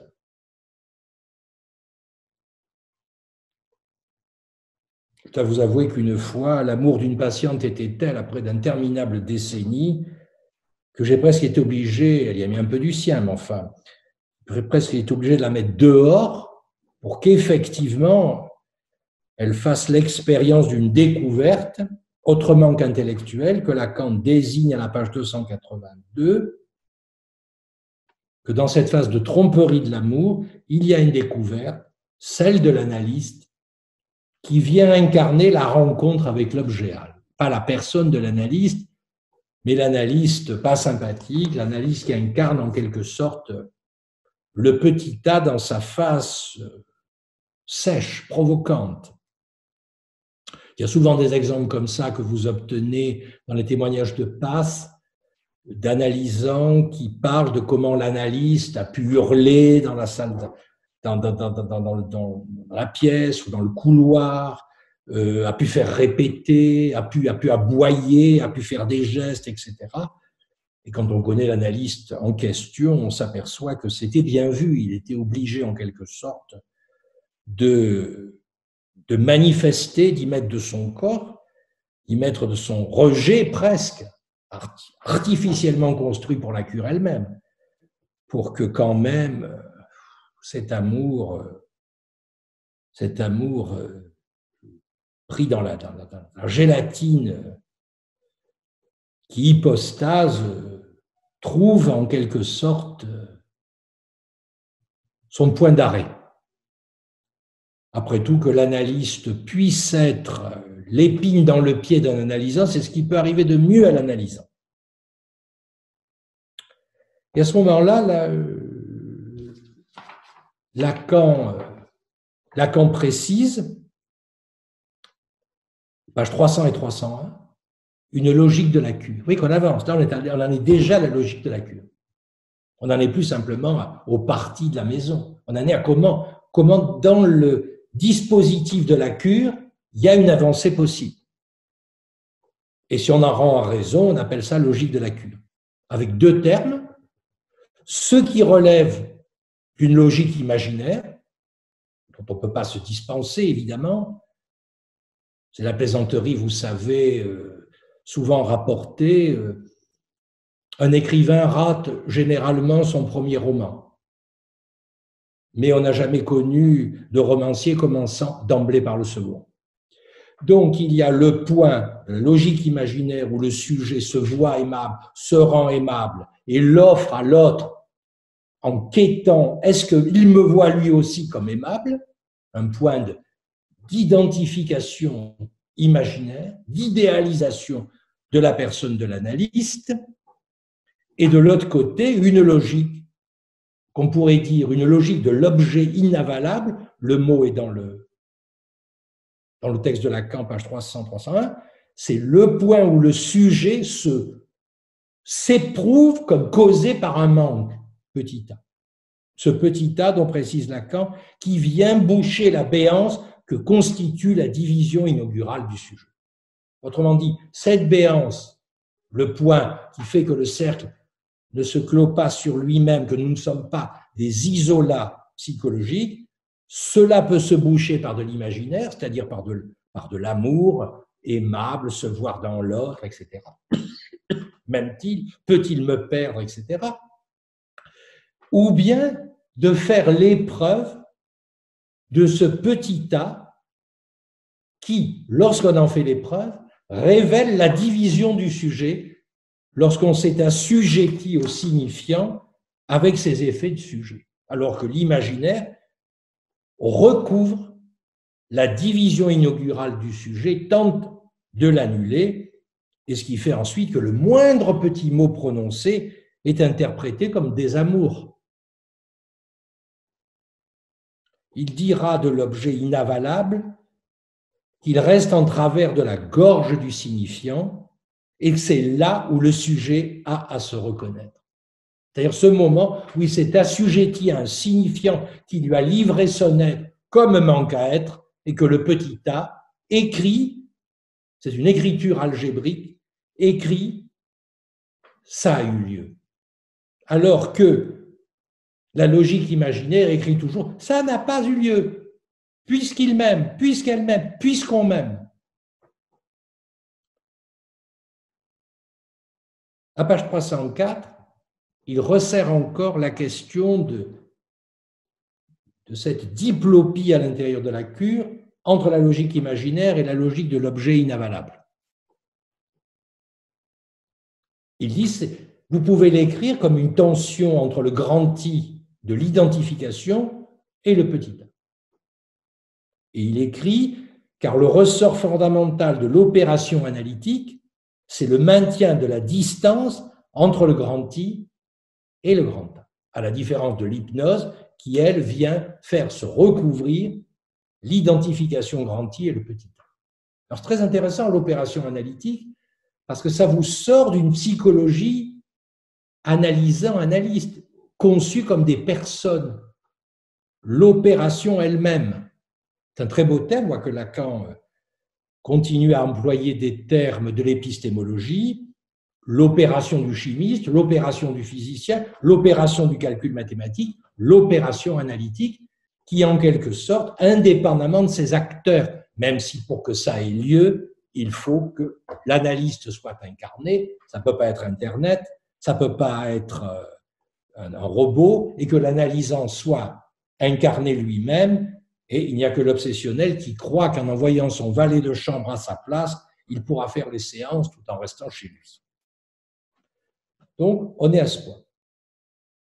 Une, séparation écarteler le grand I et le petit a, alors que précédemment, je vous expliquais que le grand I tend à recouvrir le petit a et faire croire qu'il n'y a pas de manque, qu'il n'y a pas, il n'y a pas de division inaugurale du sujet, et chacun ensuite se promènerait en disant je suis un isolat psychologique. Ça serait sa fleur à la boutonnière, sa décoration de la Légion d'honneur, je t'estampille comme isolat psychologique. Ça, c'est pas la psychanalyse. C'est pas l'expérience à laquelle nous amène la psychanalyse. Autrement dit, il une phrase magnifique ensuite, connue, souvent citée, mais que je vous rappelle, le désir de l'analyste. Le désir de l'analyste, c'est que l'opération a lieu. Ce n'est pas le désir de la personne.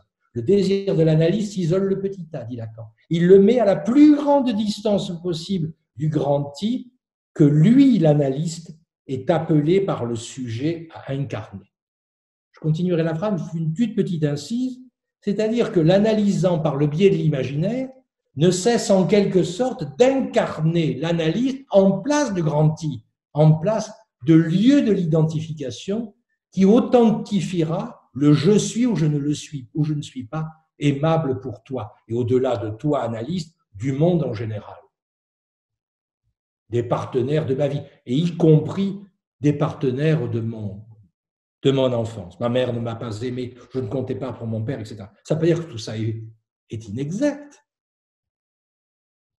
Ça veut dire que ça doit être traité autrement que par l'idéalisation euh, où on attend en quelque sorte de l'analyste mon pauvre, ma pauvre, dans mes bras. Je caricature, mais tout cela peut se faire par l'adresse transférentielle.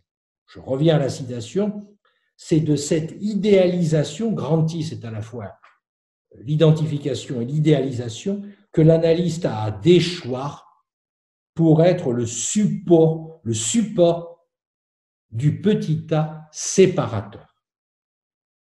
Et Lacan ajoute, un franchissement du plan de l'identification est possible.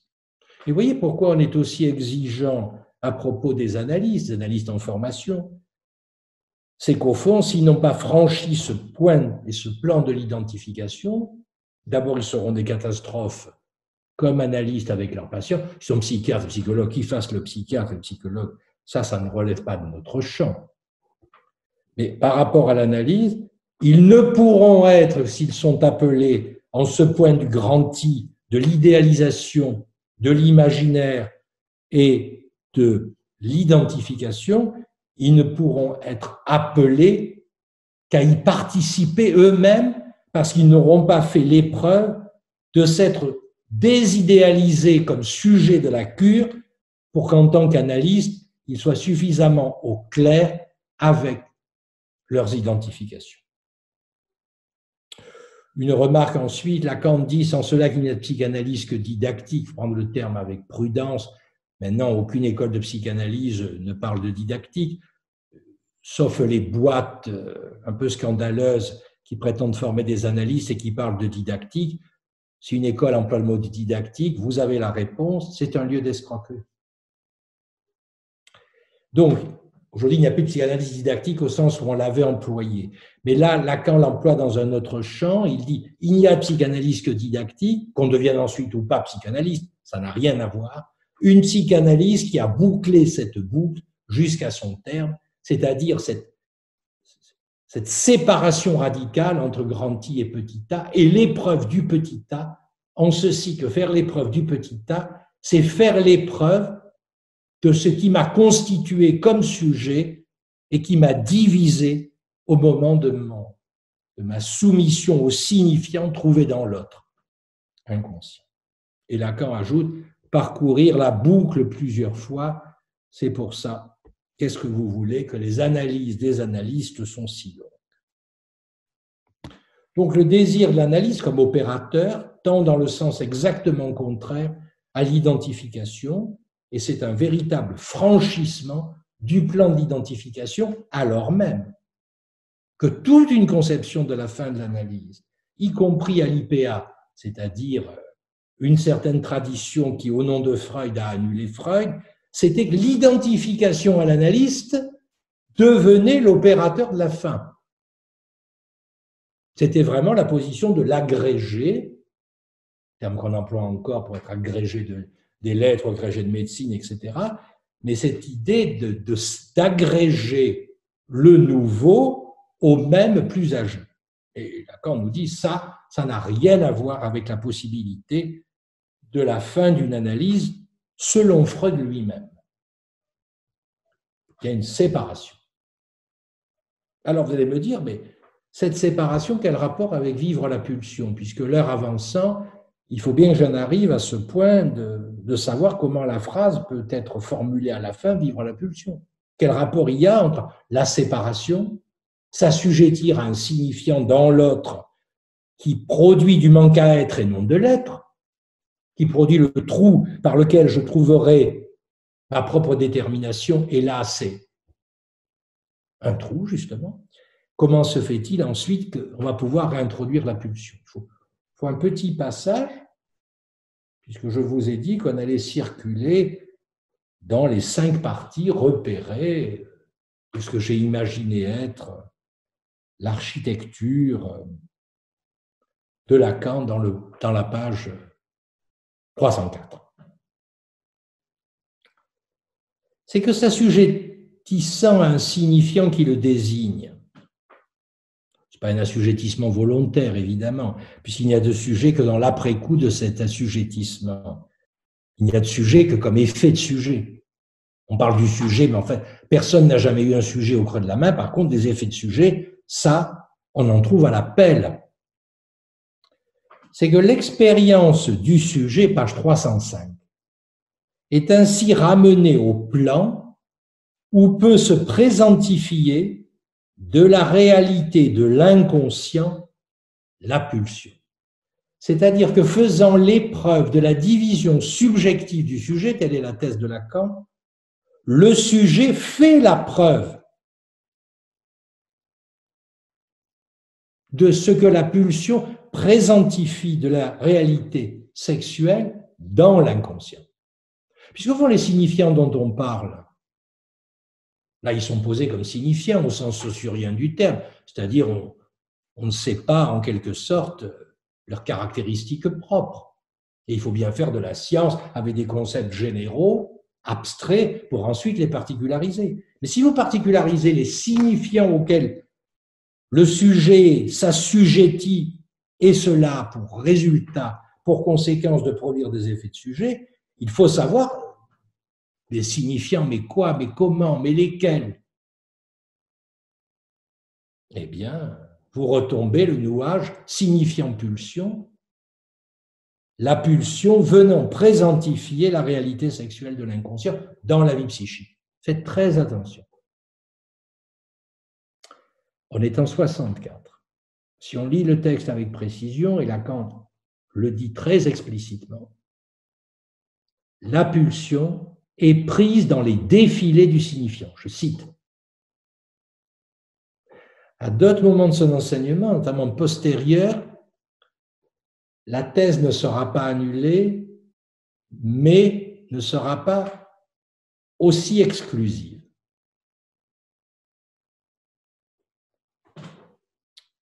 Pour ceux qui veulent avoir des précisions, il faut aller lire euh, euh, le séminaire de Jacques-Alain Miller, euh, Expérience du réel dans la cure analytique, et l'article en a été tiré, publié dans la cause freudienne, on trouvera ça sur Internet très facilement, les six paradigmes de la jouissance. Les paradigmes entre le signifiant et la jouissance ne sont pas, sont en nombre multiple, il y en a au moins six.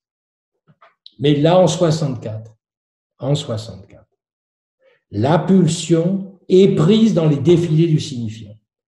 Donc, c'est un opérateur qui représente le sexuel dans l'inconscient de façon partielle, de façon limitée, puisque la pulsion génitale y fait défaut, celle qui en quelque sorte réaliserait la conjugaison d'un homme et d'une femme dans la reproduction, dans la visée de reproduction. Une sorte de, vision, euh, vision biologisante de l'affaire. Quand dit soyons prudents parce que parfois, page 305-306, une version de cet objet-A, c'est de l'offrir en sacrifice aux dieux obscurs ce que le nazisme réalisa dans l'histoire. Or, la psychanalyse s'oppose au sacrifice aux dieux obscurs.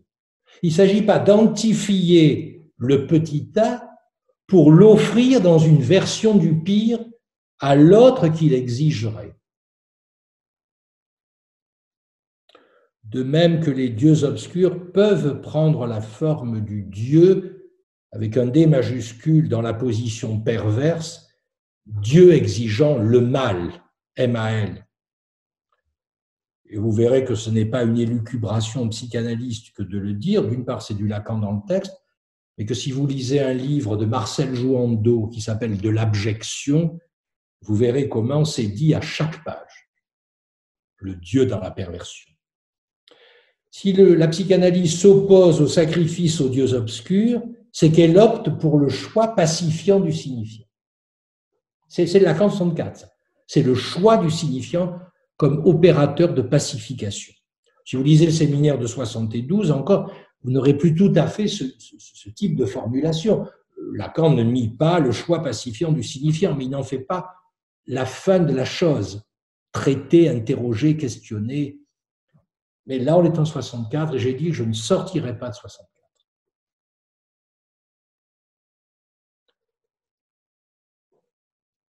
Et je voudrais, pour conclure,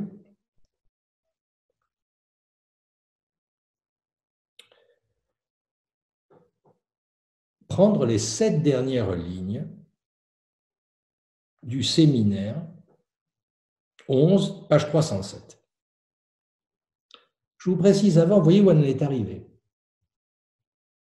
Que vivre la pulsion, c'est faire l'épreuve du petit tas séparateur qui vient indexer mon assujettissement au signifiant de l'autre produisant ma division inaugurale, où la pulsion prend le petit A pour en faire le tour, le détour, l'isole, vérifiant en cela que la réalité de l'inconscient est sexuelle. Thèse freudienne. Vous voyez comment ça tient maintenant, vivre la pulsion. C'est faire cette épreuve. Cette épreuve, au fond, de corps sexué, pas par la biologie. C'est la sexuation qui fait appel aux signifiants sur lesquels je me place. Vous savez, le fameux exemple, Saint Jean de la Croix se place au signifiant femme dans, dans sa mystique. Il n'est pas tout, pas tout homme, pas tout dimension universelle. Et donc, vivre la pulsion, c'est faire l'épreuve du petit A. Détourer dans la pulsion, dans son trajet qui en fait le tour. Elle ne crée pas. La pulsion ne crée pas l'objet. Elle en fait le tour. Il faudrait pour cela que vous alliez voir les références précédentes. Mais si vous avez pigé le point où on arrive, il suffira ensuite que vivre la pulsion, vous alliez voir les chapitres consacrés à la pulsion. C'est pour ça que je les avais cités.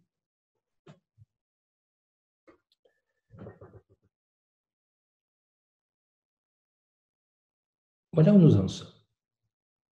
On pourrait dire arrêtons-nous.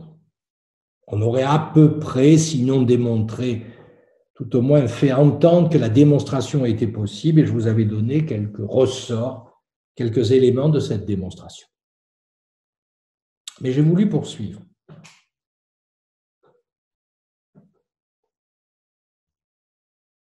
Notamment une formule que vous trouvez à la page 307 et qui précède les sept dernières lignes du séminaire. Lacan nous dit, pour qu'une relation vivable et tempérée soit possible dans le rapport homme-femme, il faut la métaphore paternelle active. La métaphore paternelle, c'est-à-dire le père P majuscule, le nom du Père, c'est-à-dire le signifiant de la loi, L majuscule, dans l'autre grand A du langage. Le signifiant de la loi, en quelque sorte, dans l'inconscient, comme discours de l'autre, produirait une relation vivable et tempérée entre homme et femme, disons, dans la rencontre, dans la rencontre du partenaire. Et hommes et femmes, là, ça va au-delà de les garçons et les filles, les jupes et les pantalons. Vous l'avez bien entendu. Donc, le signifiant, la loi, le signifiant réglé par le signifiant de la loi, le nom du Père, tempère et rend vivable. Vous voyez quand même, c'est la métaphore paternelle, prise non pas dans son aspect d'interdiction, non pas dans son aspect de mortification, non pas dans son aspect de réalisant, de cristallisant l'interdit de l'inceste, dont je parlais la dernière fois à propos de Dasdin, mais c'est la métaphore paternelle produisant du vivable, du tempéré pour des êtres vivants qui se rencontrent dans le rapport amoureux, sexuel.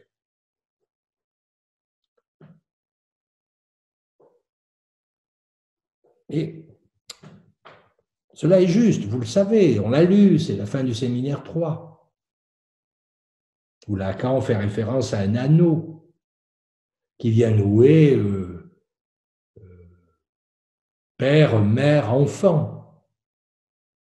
Il lui donne son nom, c'est le nom du père produisant l'effet phallique permettant l'apaisement. À la fois la dimension phallique, ça peut être, lorsqu'il est imaginarisé, le combat sans fin, mais également il y a une fonction d'apaisement de la logique phallique placée sous le signifiant grand phi. Seulement, les, sept dernières lignes du séminaire, c'est ce que je vous propose, ne disent pas tout à fait ça.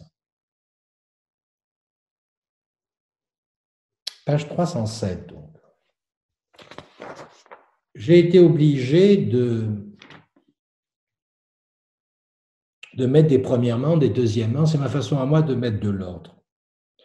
De même que je ne peux pas m'empêcher, quand je lis un texte, si je lis d'abord d'une part, je cherche le d'autre part. Et puis je cherche ensuite le enfin, c'est-à-dire une démonstration à trois termes. S'il n'y a que d'une part et pas d'autre part, généralement, je ne poursuis pas la lecture. Donc, les sept dernières lignes du séminaire, les voici. 1. Je même vous le lire pour la circonstance, pour que vous l'ayez en mémoire. Voici, page 307, le désir de l'analyse, de l'analyse, pas de l'analyste. Le désir de l'analyse n'est pas un désir pur. C'est un désir d'obtenir la différence absolue, celle qui intervient quand, confronté au signifiant primordial, le sujet vient pour la première fois en position de s'y assujettir. Ainsi, je ne cesse de vous parler de cette, de cette opération d'assujettissement signifiant primordial. C'est une opération mythique, bien sûr, de constitution ex nihilo du sujet au lieu de l'autre, mais il faut bien ce moment le conceptualiser pour en repérer ensuite les effets. Ferme l'incise. Là, elle a accent. Seulement peut surgir la signification d'un amour sans limite parce qu'il est hors des limites de la loi ou seulement il peut vivre. C'est la dernière phrase. Donc si je mets un peu d'ordre, premièrement, le désir de l'analyse, on peut même se demander si on n'aurait pas pu écrire aussi le désir de l'analyste, n'est pas un désir pur, c'est-à-dire, il faut voir le terme pur, ne se réduit pas à la maxime sadienne dont Lacan montra dans son texte Kant avec Sade que sa version grimaçante, c'est la loi sadienne qu'on trouve dans Français encore un effort pour être république. Chacun a le droit de jouir, etc. Ce n'est pas un désir pur qui se réduirait donc à une maxime qui pourrait être énoncé à la radio. Ce n'est pas pur. C'est contaminé parce que ça touche au signifiant, c'est contaminé parce qu'il y a le corps vivant impliqué. Deux, le désir d'obtenir la différence absolue au moment même où un signifiant S1 est prélevé dans l'autre produisant dans son lien à S2 un sujet divisé, manquant, produisant, se matérialisant, se concrétisant dans la cure par des effets de sujet. Trois, je fais que reprendre les termes hein, pour, avoir le plan. Troisièmement, un nouvel amour sans limite, hors des limites de la loi.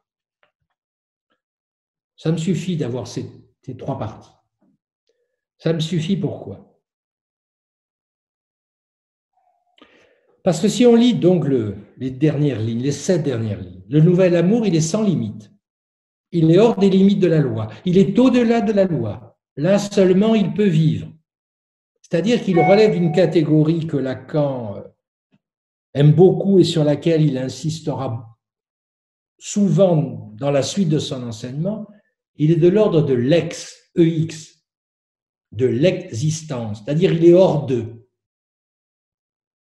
Autrement dit, vous avez avec Nouvel Amour l'amour, disons-le, tout le, tout, le séminaire y converge, l'amour plus petit a.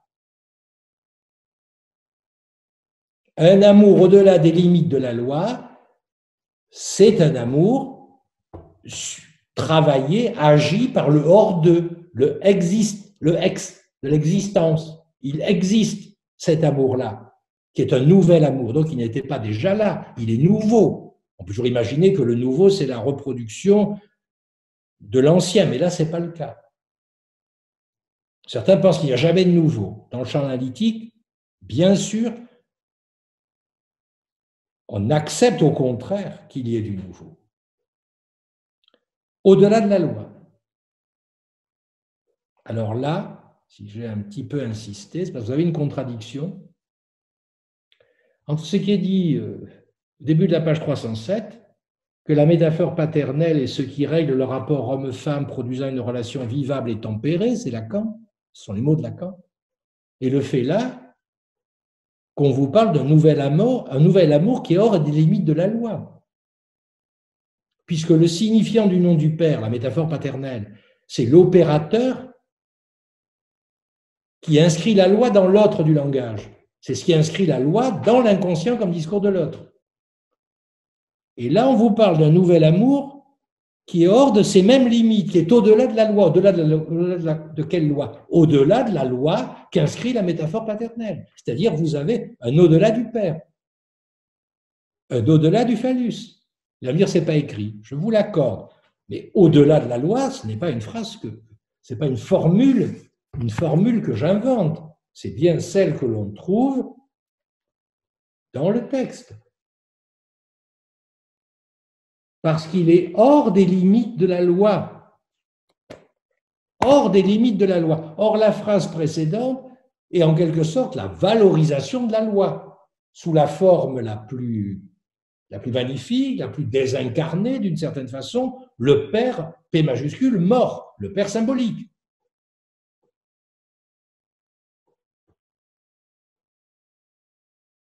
Autrement dit, vous avez une, opposition qui se produit à faire se rencontrer à quelques, à quelques lignes d'écart ces deux formules. Vous avez une logique qui relève du NDP, du nom du Père, comme signifiant de la loi, et vous avez une logique qu'on ramène, qu'on rattache, qu'on raccorde à petit a. Au-delà du nom du Père, au-delà des limites de la loi.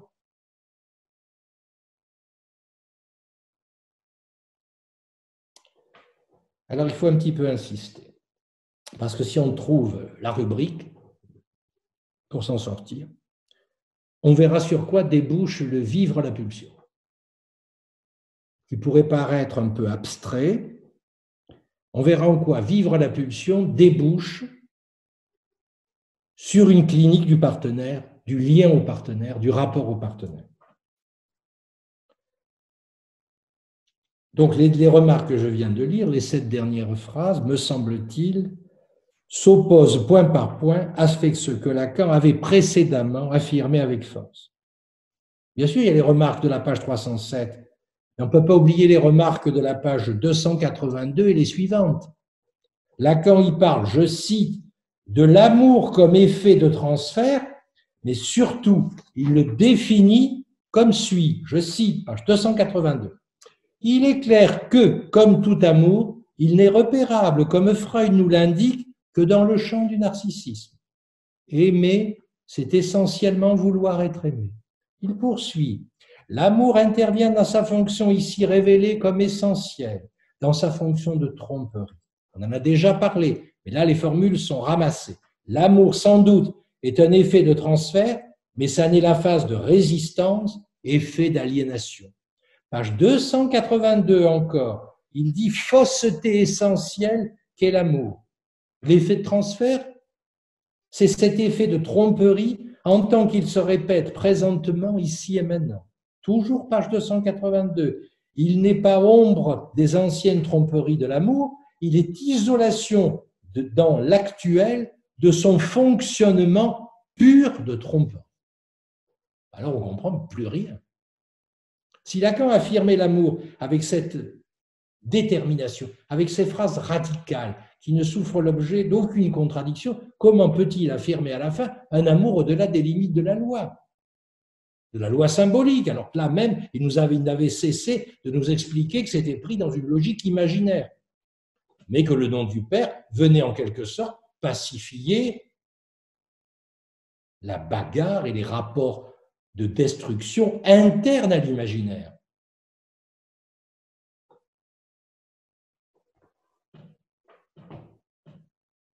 Il y avait toute une doctrine que Lacan nous rappelait. C'est pour ça que je voulais vous amener à ces références. Page 215, dans le chapitre 15 qui s'appelle De l'amour à la libido, à la page 212, vous avez Lacan qui écrit Freud d'un côté, mais les pulsions partielles, qui relèvent du petit a, dont l'objet est le petit a, et de l'autre l'amour. Et il dit, c'est Lacan qui parle, c'est pas pareil. Autrement dit, le moi, le ich, comme caractéristique de l'instance imaginaire, est non pulsionnel. Ce vouloir son bien est même la fonction du narcissisme prétendu altruiste. Autrement dit, dans l'amour, l'autre grand tas est ravalé en petit tas, petit tas, pris dans la logique imaginaire au miroir, dont le paradigme est la phase du miroir, la destruction, la réciprocité, la méconnaissance, etc. Page 222. Il n'y a pas de sujet dans le moi, il n'y a pas de sujet dans le monde du réal-ish, du moi idéal, du, du, moi réel, du moi de la connaissance. Tout peut exister comme maintenant, y compris vous et la conscience, sans qu'il y ait pour cela le moindre sujet. C'est du Lacan dans le texte. Alors on se demande pourquoi le séminaire finit sur la pulsion. On disait voilà, on finit sur la pulsion, on est débarrassé de l'amour, tel qu'il avait été précédemment élaboré. Et voilà-t-il pas que dans les sept dernières lignes, il réintroduit de façon subreptice, il réintroduit l'amour pour lui donner une définition qui est à l'encontre de tout ce qui avait précédé et qui n'avait été détruit, décomposé que parce que justement, petit a et la pulsion étaient isolés, le sujet devant en faire l'épreuve. Et maintenant, voilà qu'il ne nous dit pas, après avoir fait l'épreuve de la pulsion, ça change l'amour, il y la création d'un nouvel amour, dont il n'avait jamais parlé. Page 230, je ne l'ai pas inventé. Les objets, non, page 270. Les objets qui sont dans le champ du lust, le plaisir, ont un rapport si fondamentalement narcissique avec le sujet que identification et amour se recoupent. On l'a déjà dit. C'était l'amour. Page 230, la dialectique de la pulsion se distingue foncièrement de ce qui est de l'ordre de l'amour comme ce qui est du bien du sujet. si vous avez ça en tête, qu'on a rappelé, qu'on a démontré, qu'on a commenté, on ne pige plus, on ne pige plus la dernière page du texte. On se dit, j'y perds mon latin, je comprends rien. Lacan aurait dû s'arrêter à la page 306 il n'aurait jamais dû ajouter ces sept lignes qui vont à l'encontre de tout ce qu'il a affirmé. Après la pulsion, non. L'amour narcissique, c'est fini.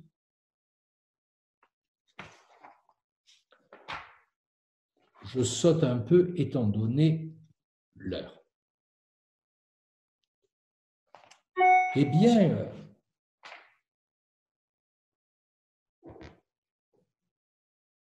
c'est là où ça devient passionnant,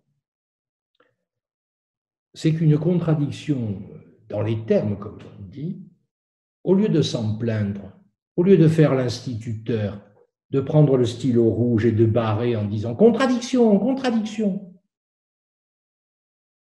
on peut se dire que justement, et c'est une question, c'est pour ça qu'il finit et ne donne pas d'autres explications. Le séminaire qui suit qui s'appelle les positions subjectives de l'être, apporte des réponses. Un séminaire non édité quasiment jamais commenté. C'est que Lacan nous dit l'amour tel qu'il est nommé par Freud, l'amour tel que le construit euh, les élèves de Lacan réunis dans l'IPA, c'est un amour narcissique et c'est le modèle de la terminaison de la cure avec identification à l'analyse. Moi, Lacan, je propose autre chose par ma lecture de Freud. Je propose l'épreuve de la pulsion, le vivre la pulsion. Il y a vivre dans pulsion, dans vivre la pulsion. Une épreuve de vivant. Et il ajoute, et bien entendu, le signifiant du nom du Père, la métaphore paternelle, fait que tout ça fait qu'on ne se détruit pas les uns les autres, mais qu'il y a des relations pacifiques. Et puis, vous avez ces fameuses sept, lignes. Eh bien, moi, je vous propose de, de faire de ces sept lignes, que je ne commenterai pas plus, ce n'est pas l'objet. Je ne vais pas parler à la place de Lacan, il dépendre de notre séminaire, justement, puisqu'il termine là-dessus. Et je m'étais dit, on ne prend que celui-là. C'est qu'au fond, il y a un autre amour que l'amour imaginaire. Lacan nous dit précédemment, l'amour c'est ça, c'est ça, c'est ça, c'est ça, c'est ça. Et à la fin, il nous dit, sans nous dire qu'il vient de le dire, l'amour ce n'est pas que ça. C'est-à-dire, amour égale trois traits horizontaux, narcissisme, moi, aimable, etc. Recouvrement du point de la division du sujet. Probablement l'amour est l'opérateur le plus, le plus adéquat, le plus inventif, le plus brillant pour annuler la division du sujet, l'assujettissement au signifiant qui m'a fait sujet. Et il nous dit, eh bien voilà, ce que je vous laisse entendre, c'est que le sujet qui a fait l'épreuve de la pulsion, il n'en a pas fini avec l'amour. Il en a peut-être fini avec la dimension purement imaginaire de l'amour, dont je vous ai dit que c'était l'amour. Eh bien maintenant, je vous suggère qu'il y en a un nouveau d'amour, dont je ne vous ai pas encore parlé. Et que celui-là est au-delà des limites de la loi. C'est-à-dire que même le nom du Père, comme opérateur, ne peut le contrôler, le maîtriser, le pacifier, le dompter. De même que, la, reprenant Freud, Lacan pourra dire que le nom du Père dompte les pulsions, ce qui est parfaitement cliniquement exact. Et là, vous avez cet autre amour, ce, nouvel amour, et, justement, s'il est au-delà des limites de la loi, et si c'est là, au-delà des limites de la, de la loi, qu'il peut vivre, c'est que justement, vous n'allez pas pouvoir le définir. C'est un au-delà, c'est une existence. Il existe, cet amour. Mais il existe ailleurs, au-delà, autrement. Il est radicalement autre. Formule que Lacan, vous savez, emploie à propos de la jouissance dite féminine. Il dit c'est une jouissance radicalement autre. Grand A, dans le séminaire encore. Eh bien, il y a un amour radicalement autre autre, bien entendu, non ravalé à l'amour imaginaire, narcissique, de l'identification, de l'idéalisation, mais même c'est un amour qui n'est plus pacifié par le symbolique venant en quelque sorte calmer les velléités rivalitaires et insupportables du champ imaginaire qu'il avait déjà déployé Lacan dans son séminaire 4 et 5 où il explique que le rapport entre la mère et, l'enfant et avec le tiers terme du phallus, ça peut être un champ de ruines si justement le quatrième terme de la métaphore paternelle ne vient pas ordonner la multiplicité des identifications possibles. Eh bien voilà, c'est de ça dont il nous parle. Il nous dit que l'épreuve de la pulsion est la fin de l'analyse, débouche sur un nouvel amour, c'est-à-dire un lien nouveau au partenaire, j'allais dire quel que soit son, quel que soit son sexe biologique, défini par l'anatomie et la carte d'identité, évidemment, eh bien, il relève de la nouveauté, puisqu'après avoir fait l'épreuve du vivre à la pulsion, tel que j'ai essayé grosso modo de vous le livrer, l'amour narcissique n'est plus aux commandes, et il faut donc imaginer l'amour plus le petit a. C'est un amour au-delà de la loi. Comment est-il? Quel est-il? Quelle forme prend-il? Le séminaire ne le dit pas, mais il termine sur cette note qui n'est pas on en a fini avec l'amour narcissique, dont il nous disait avant, il n'est que narcissique l'amour, pour produire une nouveauté qui est un des effets de la cure. Et qu'une cure se terminant, tenant sa finitude, son issue, ouvre au nouveau concernant l'amour et la rencontre, je trouve que c'est une forme joyeuse de terminer ce séminaire où la formule vivre la pulsion pouvait avoir une dimension ingrate, un peu à froid, eh bien la chaleur, elle vient de ce nouvel amour au-delà des limites de la loi, où seulement il peut vivre. Mais ne croyez pas que vous allez l'attraper comme ça, puisqu'il est ex. Alors qu'est-ce que vous avez à faire? Vous, moi, nous, comme on peut l'inventer. Voilà. Le nouvel amour est à inventer, et pour ça, il faut avoir fait l'épreuve, l'épreuve de vivre la pulsion, c'est-à-dire que la cure ouvre sur l'invention, y compris en matière d'amour. Voilà, des choses dont je voulais vous parler, dont je ne vous ai pas parlé. Mais grosso modo, grosso modo, je me note moi-même en quelque sorte. Grosso modo, je suis à peu près arrivé à vous faire entendre ce que j'essayais de vous communiquer lorsque j'avais choisi Vivre à la pulsion, parce que je n'ai jamais oublié qu'après avoir lu dix fois, vingt fois ce Vivre à la pulsion, je n'avais jamais oublié les sept dernières ligne Et je m'étais promis pour vous, pour ce, pour ce soir, de voir comment on pouvait les, les articuler ou commencer, commencer seulement à les articuler. Je vous remercie. Pamela Merci beaucoup pour votre magnifique séminaire. Alors, nous pouvons continuer joyeusement au troisième dans une quinzaine de jours, j'espère. Voilà, je vais même vous dire déjà le thème. C'est une fragment de phrase tiré du séminaire Encore, Don Juan, virgule, un mythe féminin. Bien. À bientôt alors. À bientôt. Je vous remercie beaucoup, Pamela King, de, votre présence et de rendre tout cela possible. Et je remercie euh, tous ceux qui ont bien voulu être là, euh, c'est-à-dire près de 200 au départ, et la plupart sont restés. Donc, euh, je vous remercie vraiment. À bientôt à tous. Et à, à À bientôt.